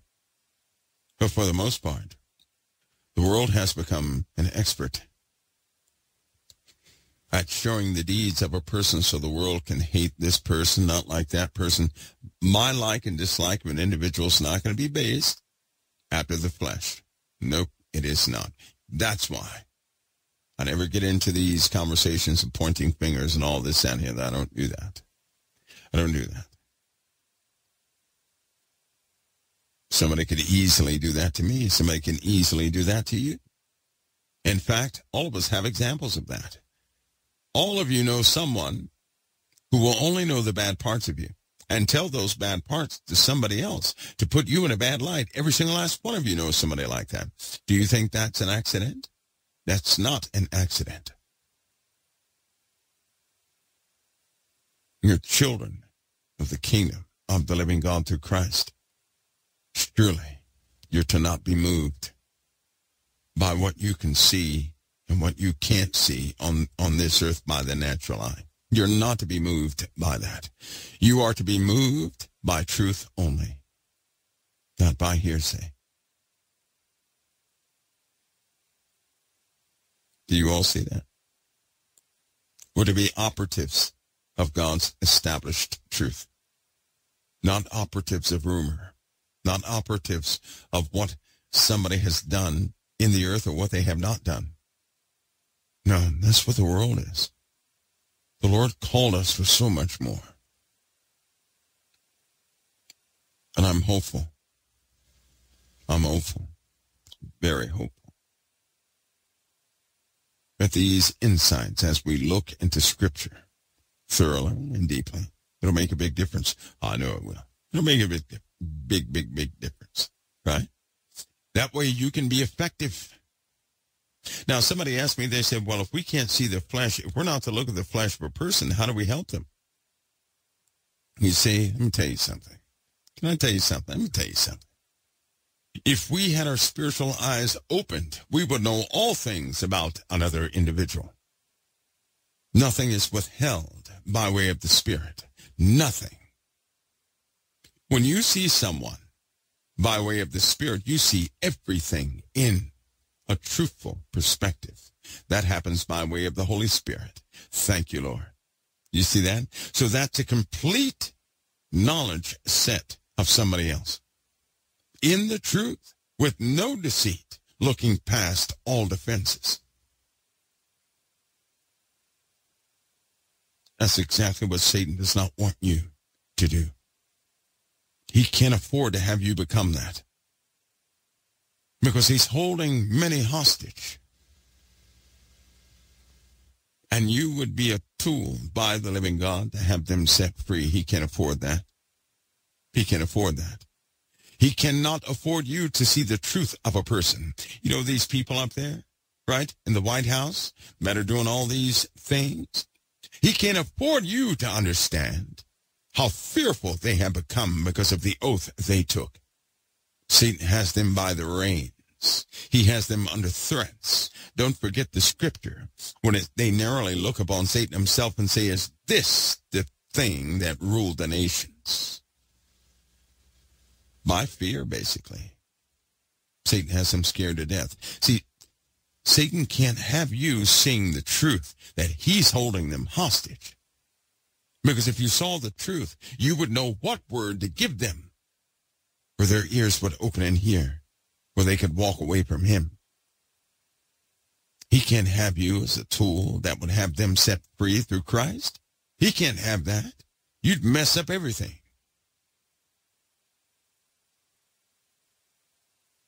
Now do you see what's happening? You would no longer see a person's mishaps you would see that they're losing in a fight with Satan, is what you would see. The truth of it is, if a person is in sin, they're losing a battle. They're losing a battle. And Satan has them. See, the world teaches you to point at them and to push them further into hell itself, to turn your back on them, to say all manner of evil against them. That's what the world teaches. But your Father teaches you to bring to them the message of reconciliation, despite their current state. You see that? See why Satan works so hard to get you to just look somewhere else. That's why he infiltrates the body of Christ as best he can to hide these principles and foundational truths away from you because you're the ones that can become exactly what Jesus said you could become. You're the ones that were promised to do greater things than Christ. You are the ones who can do that. You're the children of the promise. That's who you are. He can't have you believing that. He would lose everything he worked so hard to capture. But I got news for him. See, I only know one speed, and that is to go forward in the highest gear. That's it. So, as often as we must, we'll fortify the truth here, the Lord's words. Not man's words, not my words, but the Lord's words to point everybody back to the source of truth itself. That that message of reconciliation never end until I return. Not to have everybody ready to turn their back on everybody else. How many of you are willing right now to turn your back on everybody who would ever need help? How many? How many? I can't do that. I can't turn my back on anybody like that. I can't do that. Somebody said it's hard for me to trust humans. We're not here to trust anybody. We're here to bring that message of reconciliation. See, here, here it is. I don't trust an infant. Do you guys know that? I do not trust an infant. I don't. I don't trust little kids either. And despite people saying, oh, they're such angels, no, they are not. They are little liars. I don't trust infants because they can pee in your face and punch you in the eye when you're changing them or you turn your head. I don't trust them. They can mess you up. A little infant can mess you up. I've, I, have i have known lots of people who had a black eye from a newborn. I do. So I don't trust an infant. In fact, I live by something. You know what I live by? I'll never put my trust in any of you. Do you know why? Because I will only love you. I will not trust you. I trust the Lord. I trust him and him only will I trust. But nothing will interrupt me freely loving you guys unconditionally. That means without condition. Well, there, there's no prenup on this, right? So in the works of love, I can do them without hindrance, always. I don't put my trust in humanity, in men. I don't do that. All my trust is in the Most High. I already know that anybody in the flesh can fail and fail miserably. I already know that appearances can look awful bad in the flesh. See, I'm ready to see a person backstab me and continue on helping them. I'm already prepared for that. That's why I'll never put my trust in somebody else. So I can freely love them.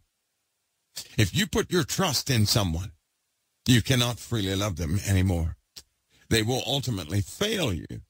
And when they do that, you will withdraw yourself from them. Well, I'm not setting myself up for that. That's Satan's ideologies. I'm not doing that. I'm doing exactly what the Lord said do. I trust him with all that is within me, but I will love my fellow man. Period. See how when we obey, Satan has no weapon against us that will prosper. When we obey.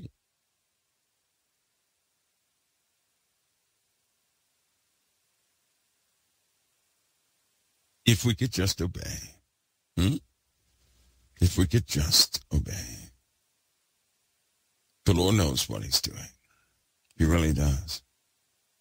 He knows exactly what he's doing. He does.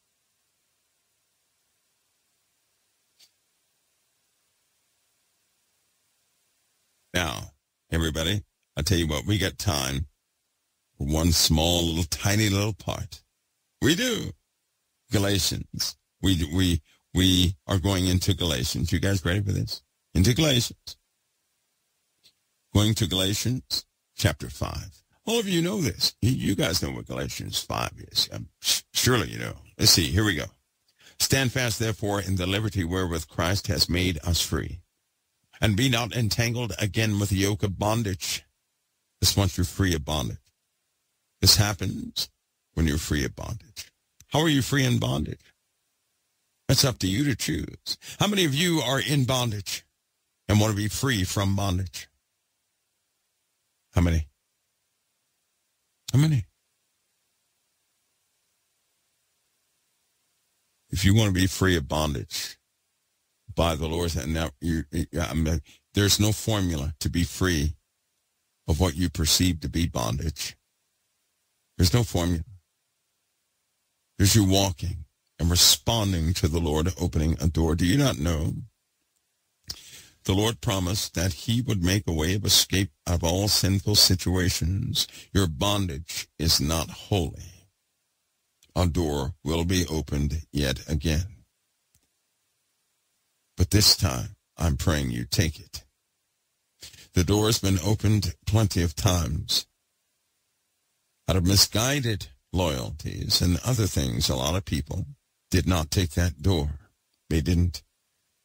A lot of people didn't take the door because when the door opened, they said, well, where, where, where will I go? What will I do? And they had no confidence in the Lord enough to walk through that door.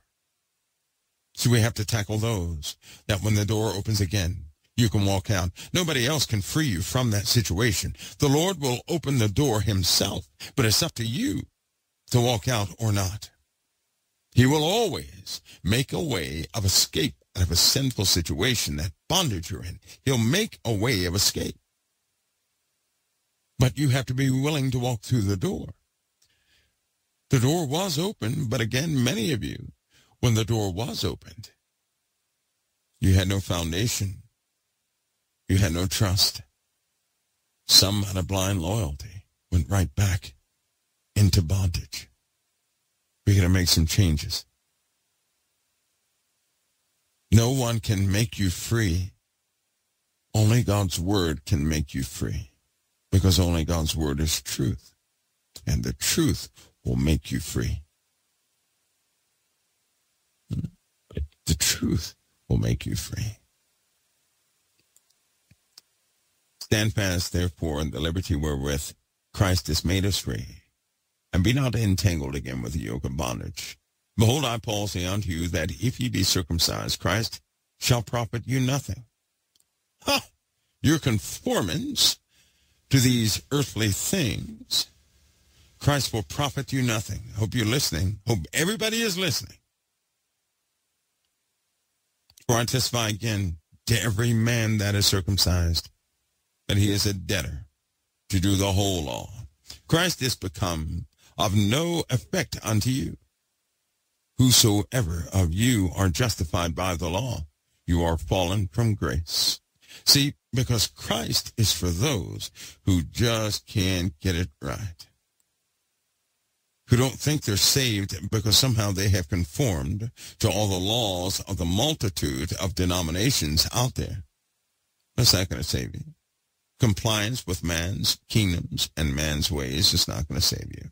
Christ is of no effect to those who think that they're going to be justified saved by them following the letter of somebody else's mandate, following all the steps given by mankind. But for those of us who have looked beyond all the steps of mankind, and we see what mankind is and the spirit that dwells in mankind, for those of you who are like that, who see no escape by any ritual, or any of those other things they do. Christ is of great effect. And he alone, he alone is that sacrifice that grants all freedom for those who would accept it upon their lives. So let's get to the heart of the scriptures. I want to read in Galatians, starting at 17. For the flesh lusteth against the spirit, and the spirit against the flesh. First establishment. The flesh. What is flesh again? There, there, oh, I skipped something. In certain scriptures, the flesh is talked about as anything according to you or anything according to me, right?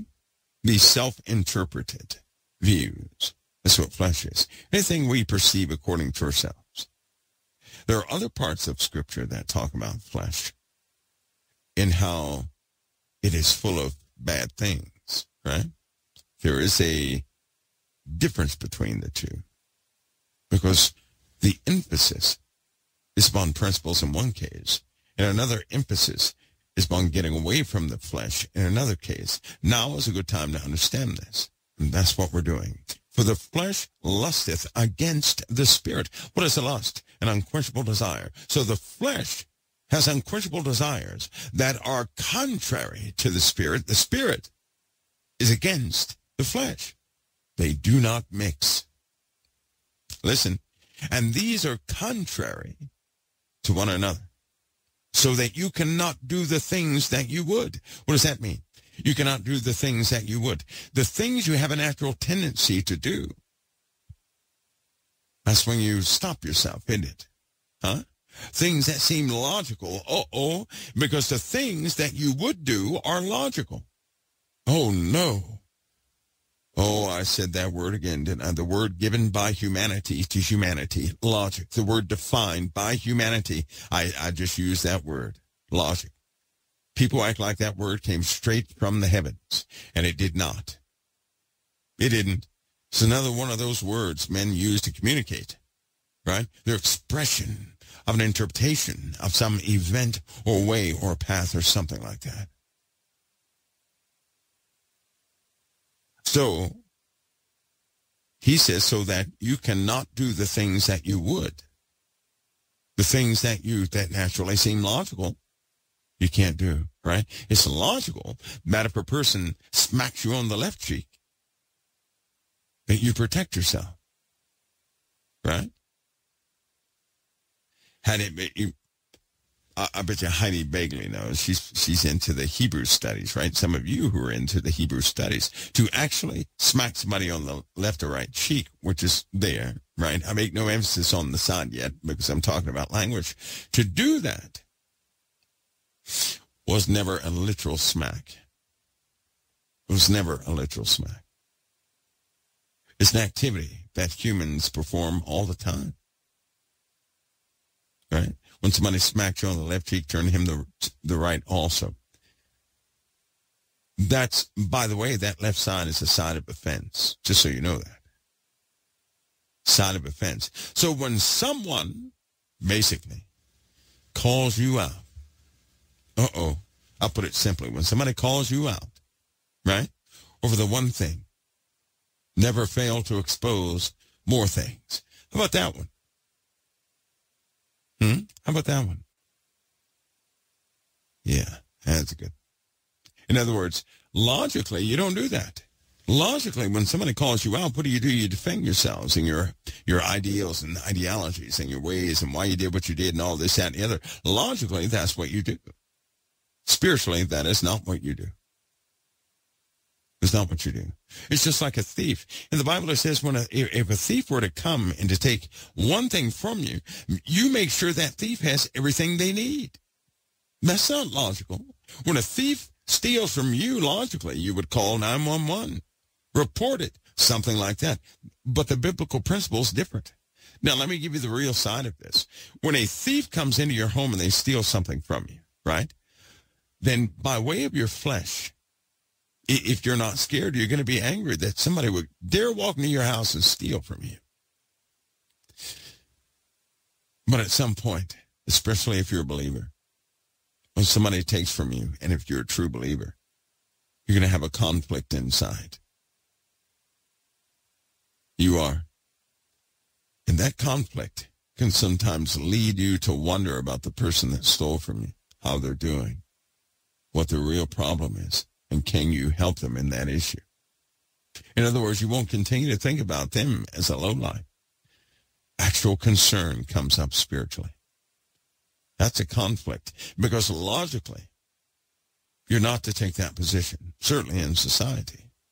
But by way of the Spirit, something else can happen from time to time. It may not happen all the time, but it can happen from time to time. Right? And I've had somebody steal from me before, or what they were, you know, if it were a long time ago, I would have halted that and that person would have been in trouble. In this case, even caught in the act, compassion came out of me. Spiritually, compassion. As a result, that compassion ended up two years later changing that person's life. That small act where everybody else had responded in this standard way. I didn't. And it's not like I tried it, right? It was, it just so happened at that, at that point, I was very concerned about the person. I could see something possibly nobody else saw. Possibly. I took a spiritual position, a stance in that, that circumstance. Do you know the person got away with the stolen item? They did. Because I, I let him walk away with it. I did. But it, it did something to them two years later. That person made it a point to get in contact with me. There's a beautiful ending to it, but that sometimes happens. Should you do that on your own? I didn't do that on my own. I did that spiritually, and that's the difference. I didn't just decide, well, I'm going to do this spiritually and do it. No, that's not what happened. I yielded to the Spirit. And there was much direction in me. The initiation of the whole thing came because I didn't see them as a thief. I saw them as a human being in trouble. That's where it came from. I saw them as a human being and they were losing a battle and they were in trouble. And at that point, I'll be honest, I didn't care what they were taking. I did not care. Because at that moment, nothing had value over that thief. Nothing had value over the thief. How ironic. That's not logical, but that was spiritual. And it did a work I couldn't have expected. I couldn't. And to that person, that was surely a, a, a, a holy work in that person's life. It really was. His perception of what happened is, is likely with him to this very day. It was one of those life-changing moments. What did I feel? You know, when it happened, when it happened, the Spirit intervened. I just yielded to the Spirit and his value as God's creation went above all merchandise on the planet in that moment.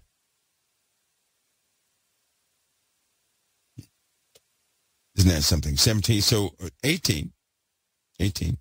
But if you be led of the Spirit, you're not under the law. You're not under the law. If you're led of the Spirit, you're not under the law. Now the works of the flesh are manifest, which are these. Adultery, fornication, uncleanness, lasciviousness, adultery, witchcraft, hatred, variance, emulations, wrath, strife, uh, seditions, heresies, envies, murders, drunkenness, revelings, and such like, of which I tell you before, as I have also told you in times that they which do such things shall not inherit the kingdom of God. Uh-oh.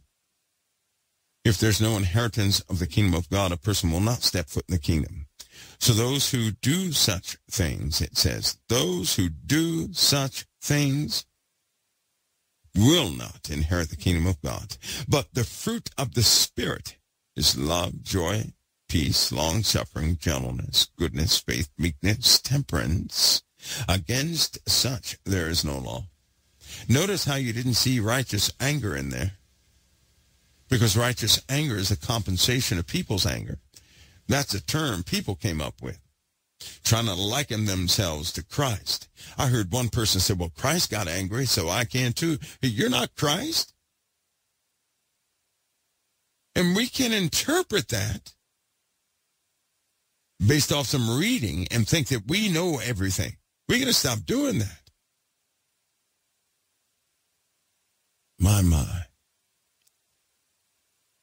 In this moment of that thief that was coming in to take the merchandise from me, the fruits of the Spirit prevailed, and the flesh was quickly put down.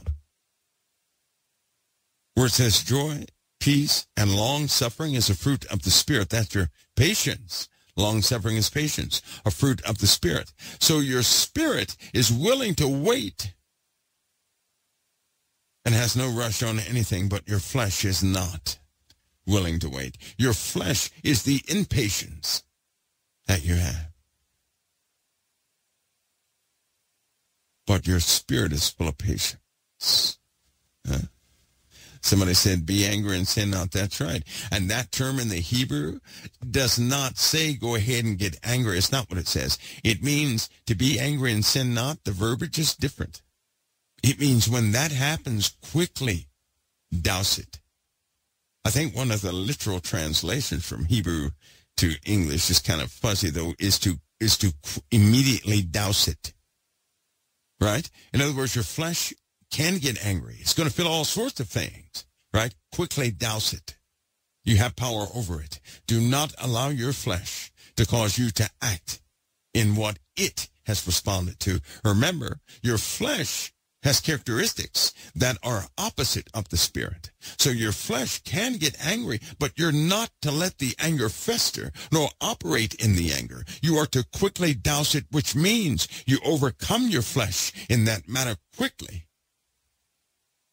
Do you see how some spirit is in, in the body of Christ trying to cause people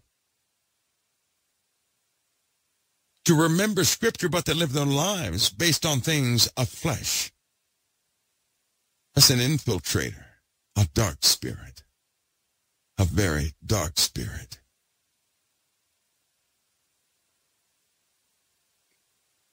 Yeah, that works. That means all of us get angry. All of us do. Because your body's going to have these responses. Right? Somebody asked me, Mike, how do you operate in that discomfort? Because my eyeball, right, is red and scratchy and itchy and all that stuff. How do you operate like that? I said, that has nothing to do with anything spiritual of me. And the moment you begin to operate like that, your flesh has no dominion over you. You know what that means? Your pain signals are diverted. Ha! Isn't that something? Somebody wanted the answer to that one day. I just gave it. Just gave it. I have dominion over the body. The body does not have dominion over me. Just make sure you define yourself as who you really are. Who Christ sees you to be, he also described. Didn't he? Hmm? He did. He described you. Christ did. But are you still seeing yourself based on the mirror and based on what you think you did in life or what you think you did not do? Or are you finally accepting who Christ has described you to be? Because if you become that person, then walk in your dominion over the flesh and stop giving in to the flesh. Override it. When my flesh gets hungry, I do not feed it. It eats when I choose for it to eat. See how that works? Hmm? When it gets sleepy, I do not sleep when it desires sleep. I sleep when I decide it will sleep. I never give in to the flesh, not an ounce, not in anything. Certainly not in any desire.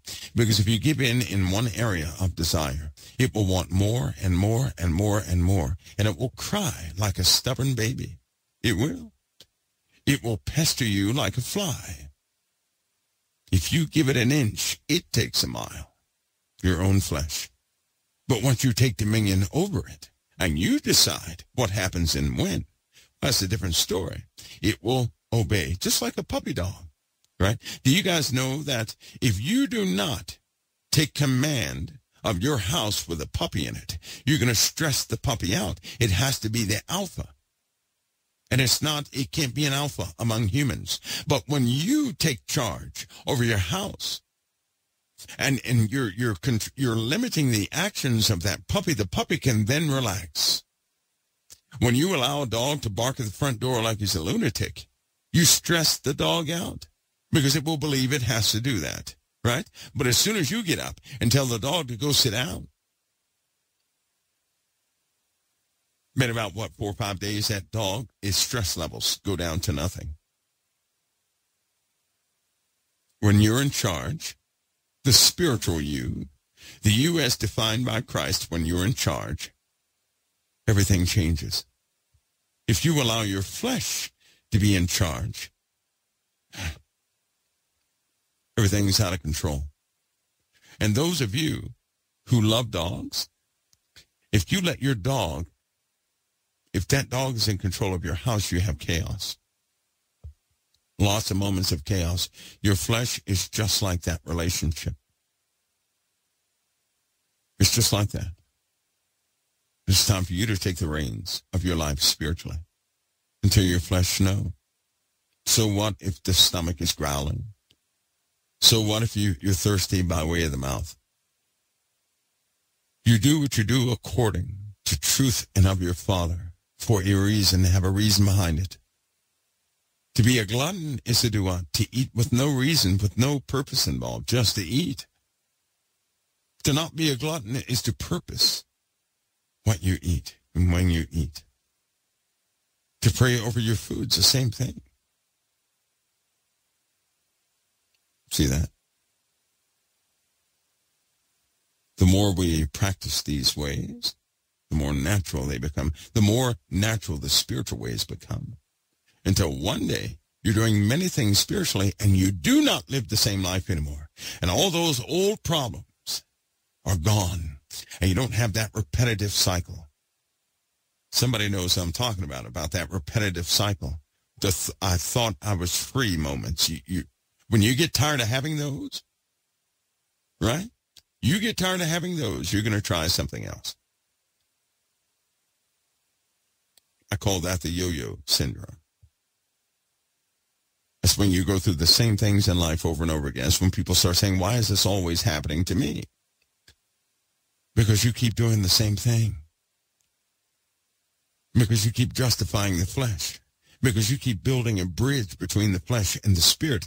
And the flesh and the spirit are contrary to one another. Galatians 5:17 for the flesh lusteth against the spirit, the spirit against the flesh, and these are contrary one to another, so that ye cannot do the things that you would.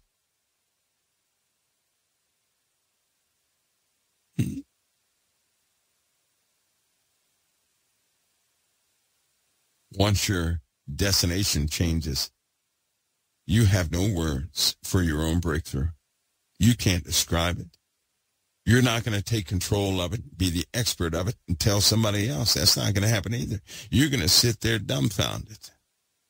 First, I'm going to, I'm going to be honest. Anybody who's, who's had a breakthrough and look back on their breakthrough, they feel foolish. They'll say, oh my goodness, I was so dumb and stubborn that I kept myself in that circumstance all those years. And all I had to do, all I had to do was let go.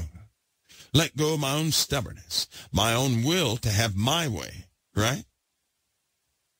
That's what we find out. That the Lord has always been there to grant us a goodness, but we're the ones refusing it. We still want our way, no matter what the Lord has, has put in our direction. We still want our way. We want to control our own blessings. We want to name our own blessings. Look at the nature of prayer. How many people pray and they say, Lord, I want you to, uh, Lord, would you just, you just give me the money so I can do this, that, and the other.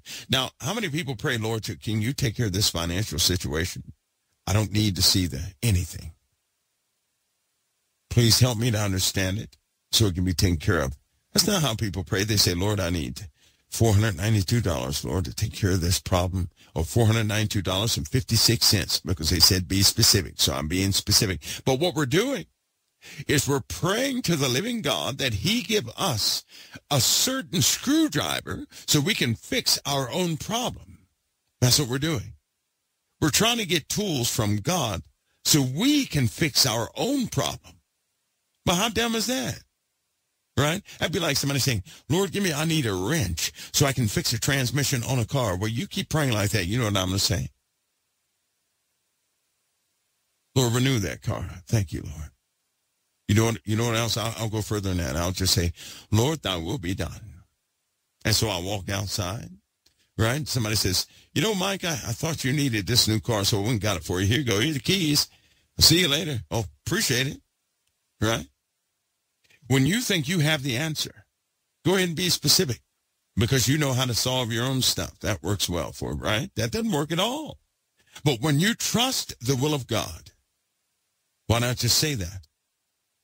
That's why I'm telling you guys I don't pray for myself. I don't have to. I don't have to do that.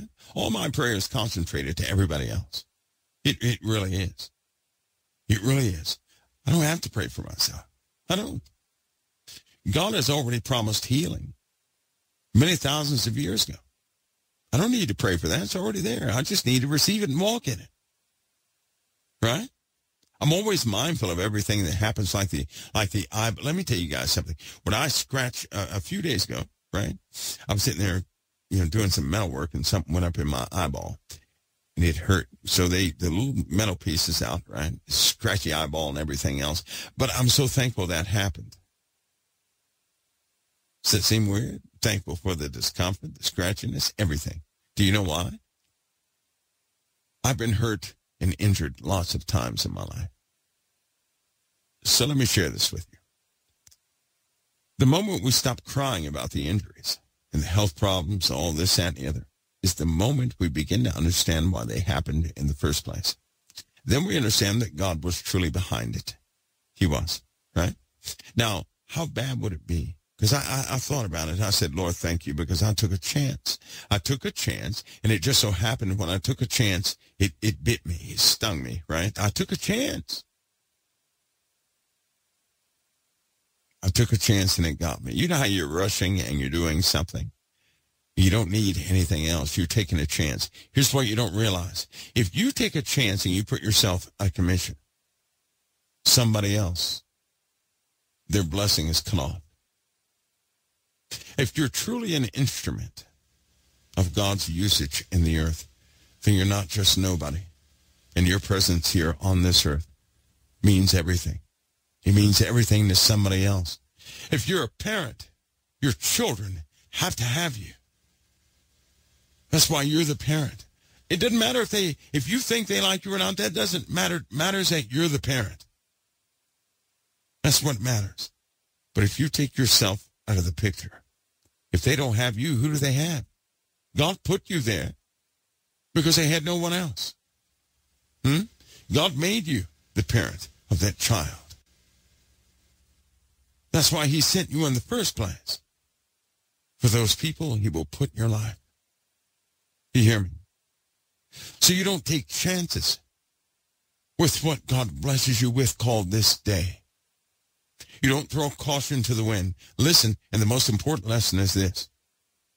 If you neglect any area of your life, God has given you power not to neglect and to truly understand. The moment you neglect it is the moment darkness will strike. If you're tired of darkness striking, then stop leaving things undone. Don't become lazy, slothful. Don't do that. Be vigilant. It is required of us. God does require stewardship of what he gives us. When we become lazy, things happen. You, all of you know this in your personal lives. If you're above a certain age, you know this. When you start looking over things, the very areas you looked over, something happens. Something happens you don't want to happen. Something happens to slow you down. And most things that happen in our lives like that is because we had become lazy, because we failed to look through something thoroughly, because we skimmed over something when God has given us an ability to see it all, because we took shortcuts. And why would all that type of behavior be important? Because you're children of an everlasting kingdom, joint heirs with Christ, royalty in the making. You have great promises over you right now. You're going to rule and reign with Christ. What kind of rulers, co-rulers are we going to be? And we know, we don't even know where you're about to be born and greater responsibility could be in eternity. Much greater responsibility. But all that begins right now. All of it. All of it. God requires stewardship. Sober people who are alert, caretakers who miss nothing. No dereliction of duty. No shucking responsibilities. No leaving something off today and saying we're going to get it tomorrow. But doing everything we can in the day we're blessed to occupy. To do it to the best of our abilities. That's when the Lord responds with his kindness and his word reacts in our lives. He's already blessed the one. He's already blessed the one that is thorough in this day. Do you know that? He's already blessed us. So that if you're thorough, the blessing is yours. But if we miss something, uh-oh, the penalty is ours. And I got the penalty. And I'm thankful. I'm thankful, right? You know how when you're when you're working with tools, sometimes you can neglect how powerful the tool is until you get burnt or cut something very deep. And then all of a sudden you realize, wait a minute, this tool can really mess people up. Let me have let me respect it. In other words, let me not take chances with it. Right? Let me not take chances with it. And what ends up happening is when you don't take chances with a tool, actually two things happen. You don't get hurt, number one, but your work ethic is increased. Because when you uh, are not overlooking the details of one thing, that translates to the rest of your life. So if you increase in one area by way of stewardship, all areas of your life benefit. Isn't that something? It also means that if one area of your life is lacking, all areas can suffer. That's what it means. And we already know ourselves, right? We know ourselves. All of us have had alarms. When we were enthusiastic about going to a destination or something we had to do, the alarm rung once. Sometimes it didn't get a chance to ring. We're already up responding to it, right? When we're not enthused, we always need 10 more minutes, five more minutes. Is that, is that fair to say? We always need that, right? So when we're not enthused, you know what often motivates us?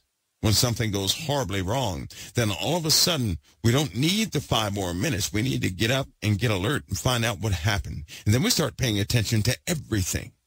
One thing goes wrong, we start looking at everything, right? God knows how to wake us up. He does. You live in a very different time now. You do. No doubt people are going to count on you for something. And right now, it's almost like a spirit of laziness is upon many. And we know it. So the Lord has to wake us up. So things that happen that seem unfortunate by way of, you know, the flesh, seeing it by way of flesh or according to flesh, right? Or self-interpretation, it may seem bad, but it's good. This injury may seem bad, but it's actually a blessing because it caused me to kind of not throw caution to the wind on everything. On everything. That's translating and seeing things I missed. I actually missed things. Now I'm not missing them. I'm getting everything over time, right? Over time. Because if I miss things like the website, if I miss certain things in the website, the website's compromised. It comes down. It doesn't work. The chat rooms won't work. Not just COT chat rooms, right? But the other ministries who are utilizing COT tech, their chat rooms won't work either if I start to overlook things. I don't need to have a lazy attitude. I need to be vigilant to stay up with the standard because criminals are always trying to hack. I got to stay four steps ahead of them. Because what would happen to the churches that are utilizing our services if I fall asleep at the wheel? What do you think would happen? They would suffer. Their communications would suffer, would throw them off their schedules, things of that nature. No, they're not paying for it, but they're going to have the best possible product out there. They are the most secure, the most robust.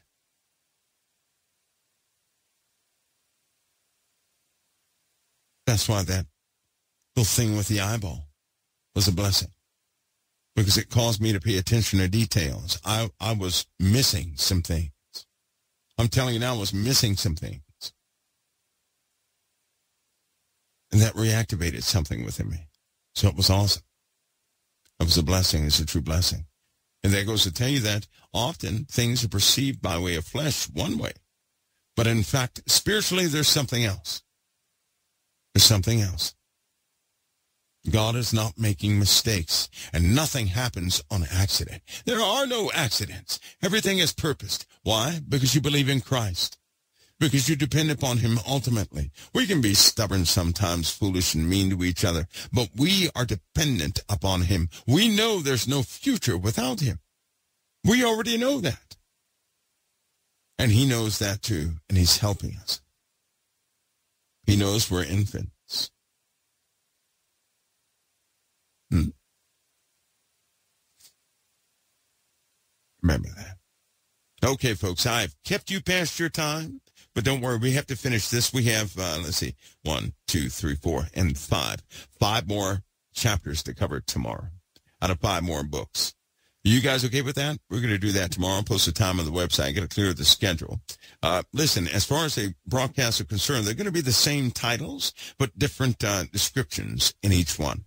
Okay. Now, some of them may stay the same this week because a hurricane upset some things this week. So we're going to tackle, we have foundational subjects in quite a few things um, that you have to know about. Otherwise, I may sound like a lunatic to you in the near future coming out with certain subjects.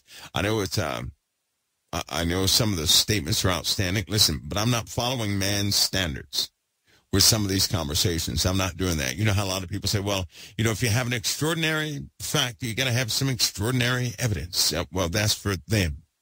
That's not the purpose of this. The purpose of this is to get people acquainted to what they're going to go through anyway, right? Now, listen, that means you may not believe it at first. But if you hear it and it's likened under certain things, because I'll throw, I'll, I'll just let you know this is out there. But this is, you know, this according to this is how it is right? Now, all you have to do is hear it. You're not here to believe it. You don't have to believe it, right? But you can hear it. That way, when you're exposed to it, that unbelievable situation, you'll already be armed for it. I want you to be armed for things you'll certainly encounter. That's my hope. Because I know there's even a piece of me, and I know that people, oh, oh they're, they're underestimating even disclosure itself. They think they have their finger on what's going to be disclosed, and I'm telling you right now, shock and awe is coming. It's coming, and it's not going to favor anybody. People are going to be swept up by utopia. They're going to instantly embrace something they never ever saw before. And that's very sad, don't you think? But not before people are attacked by things that were never supposed to exist.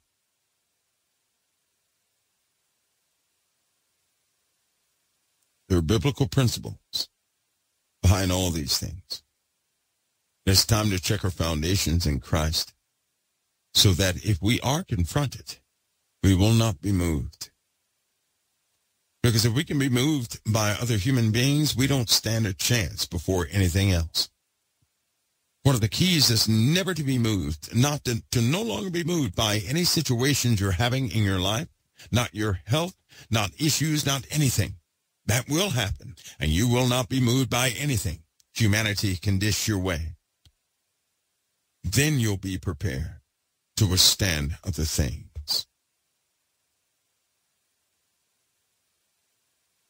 We have a short time to get all that established.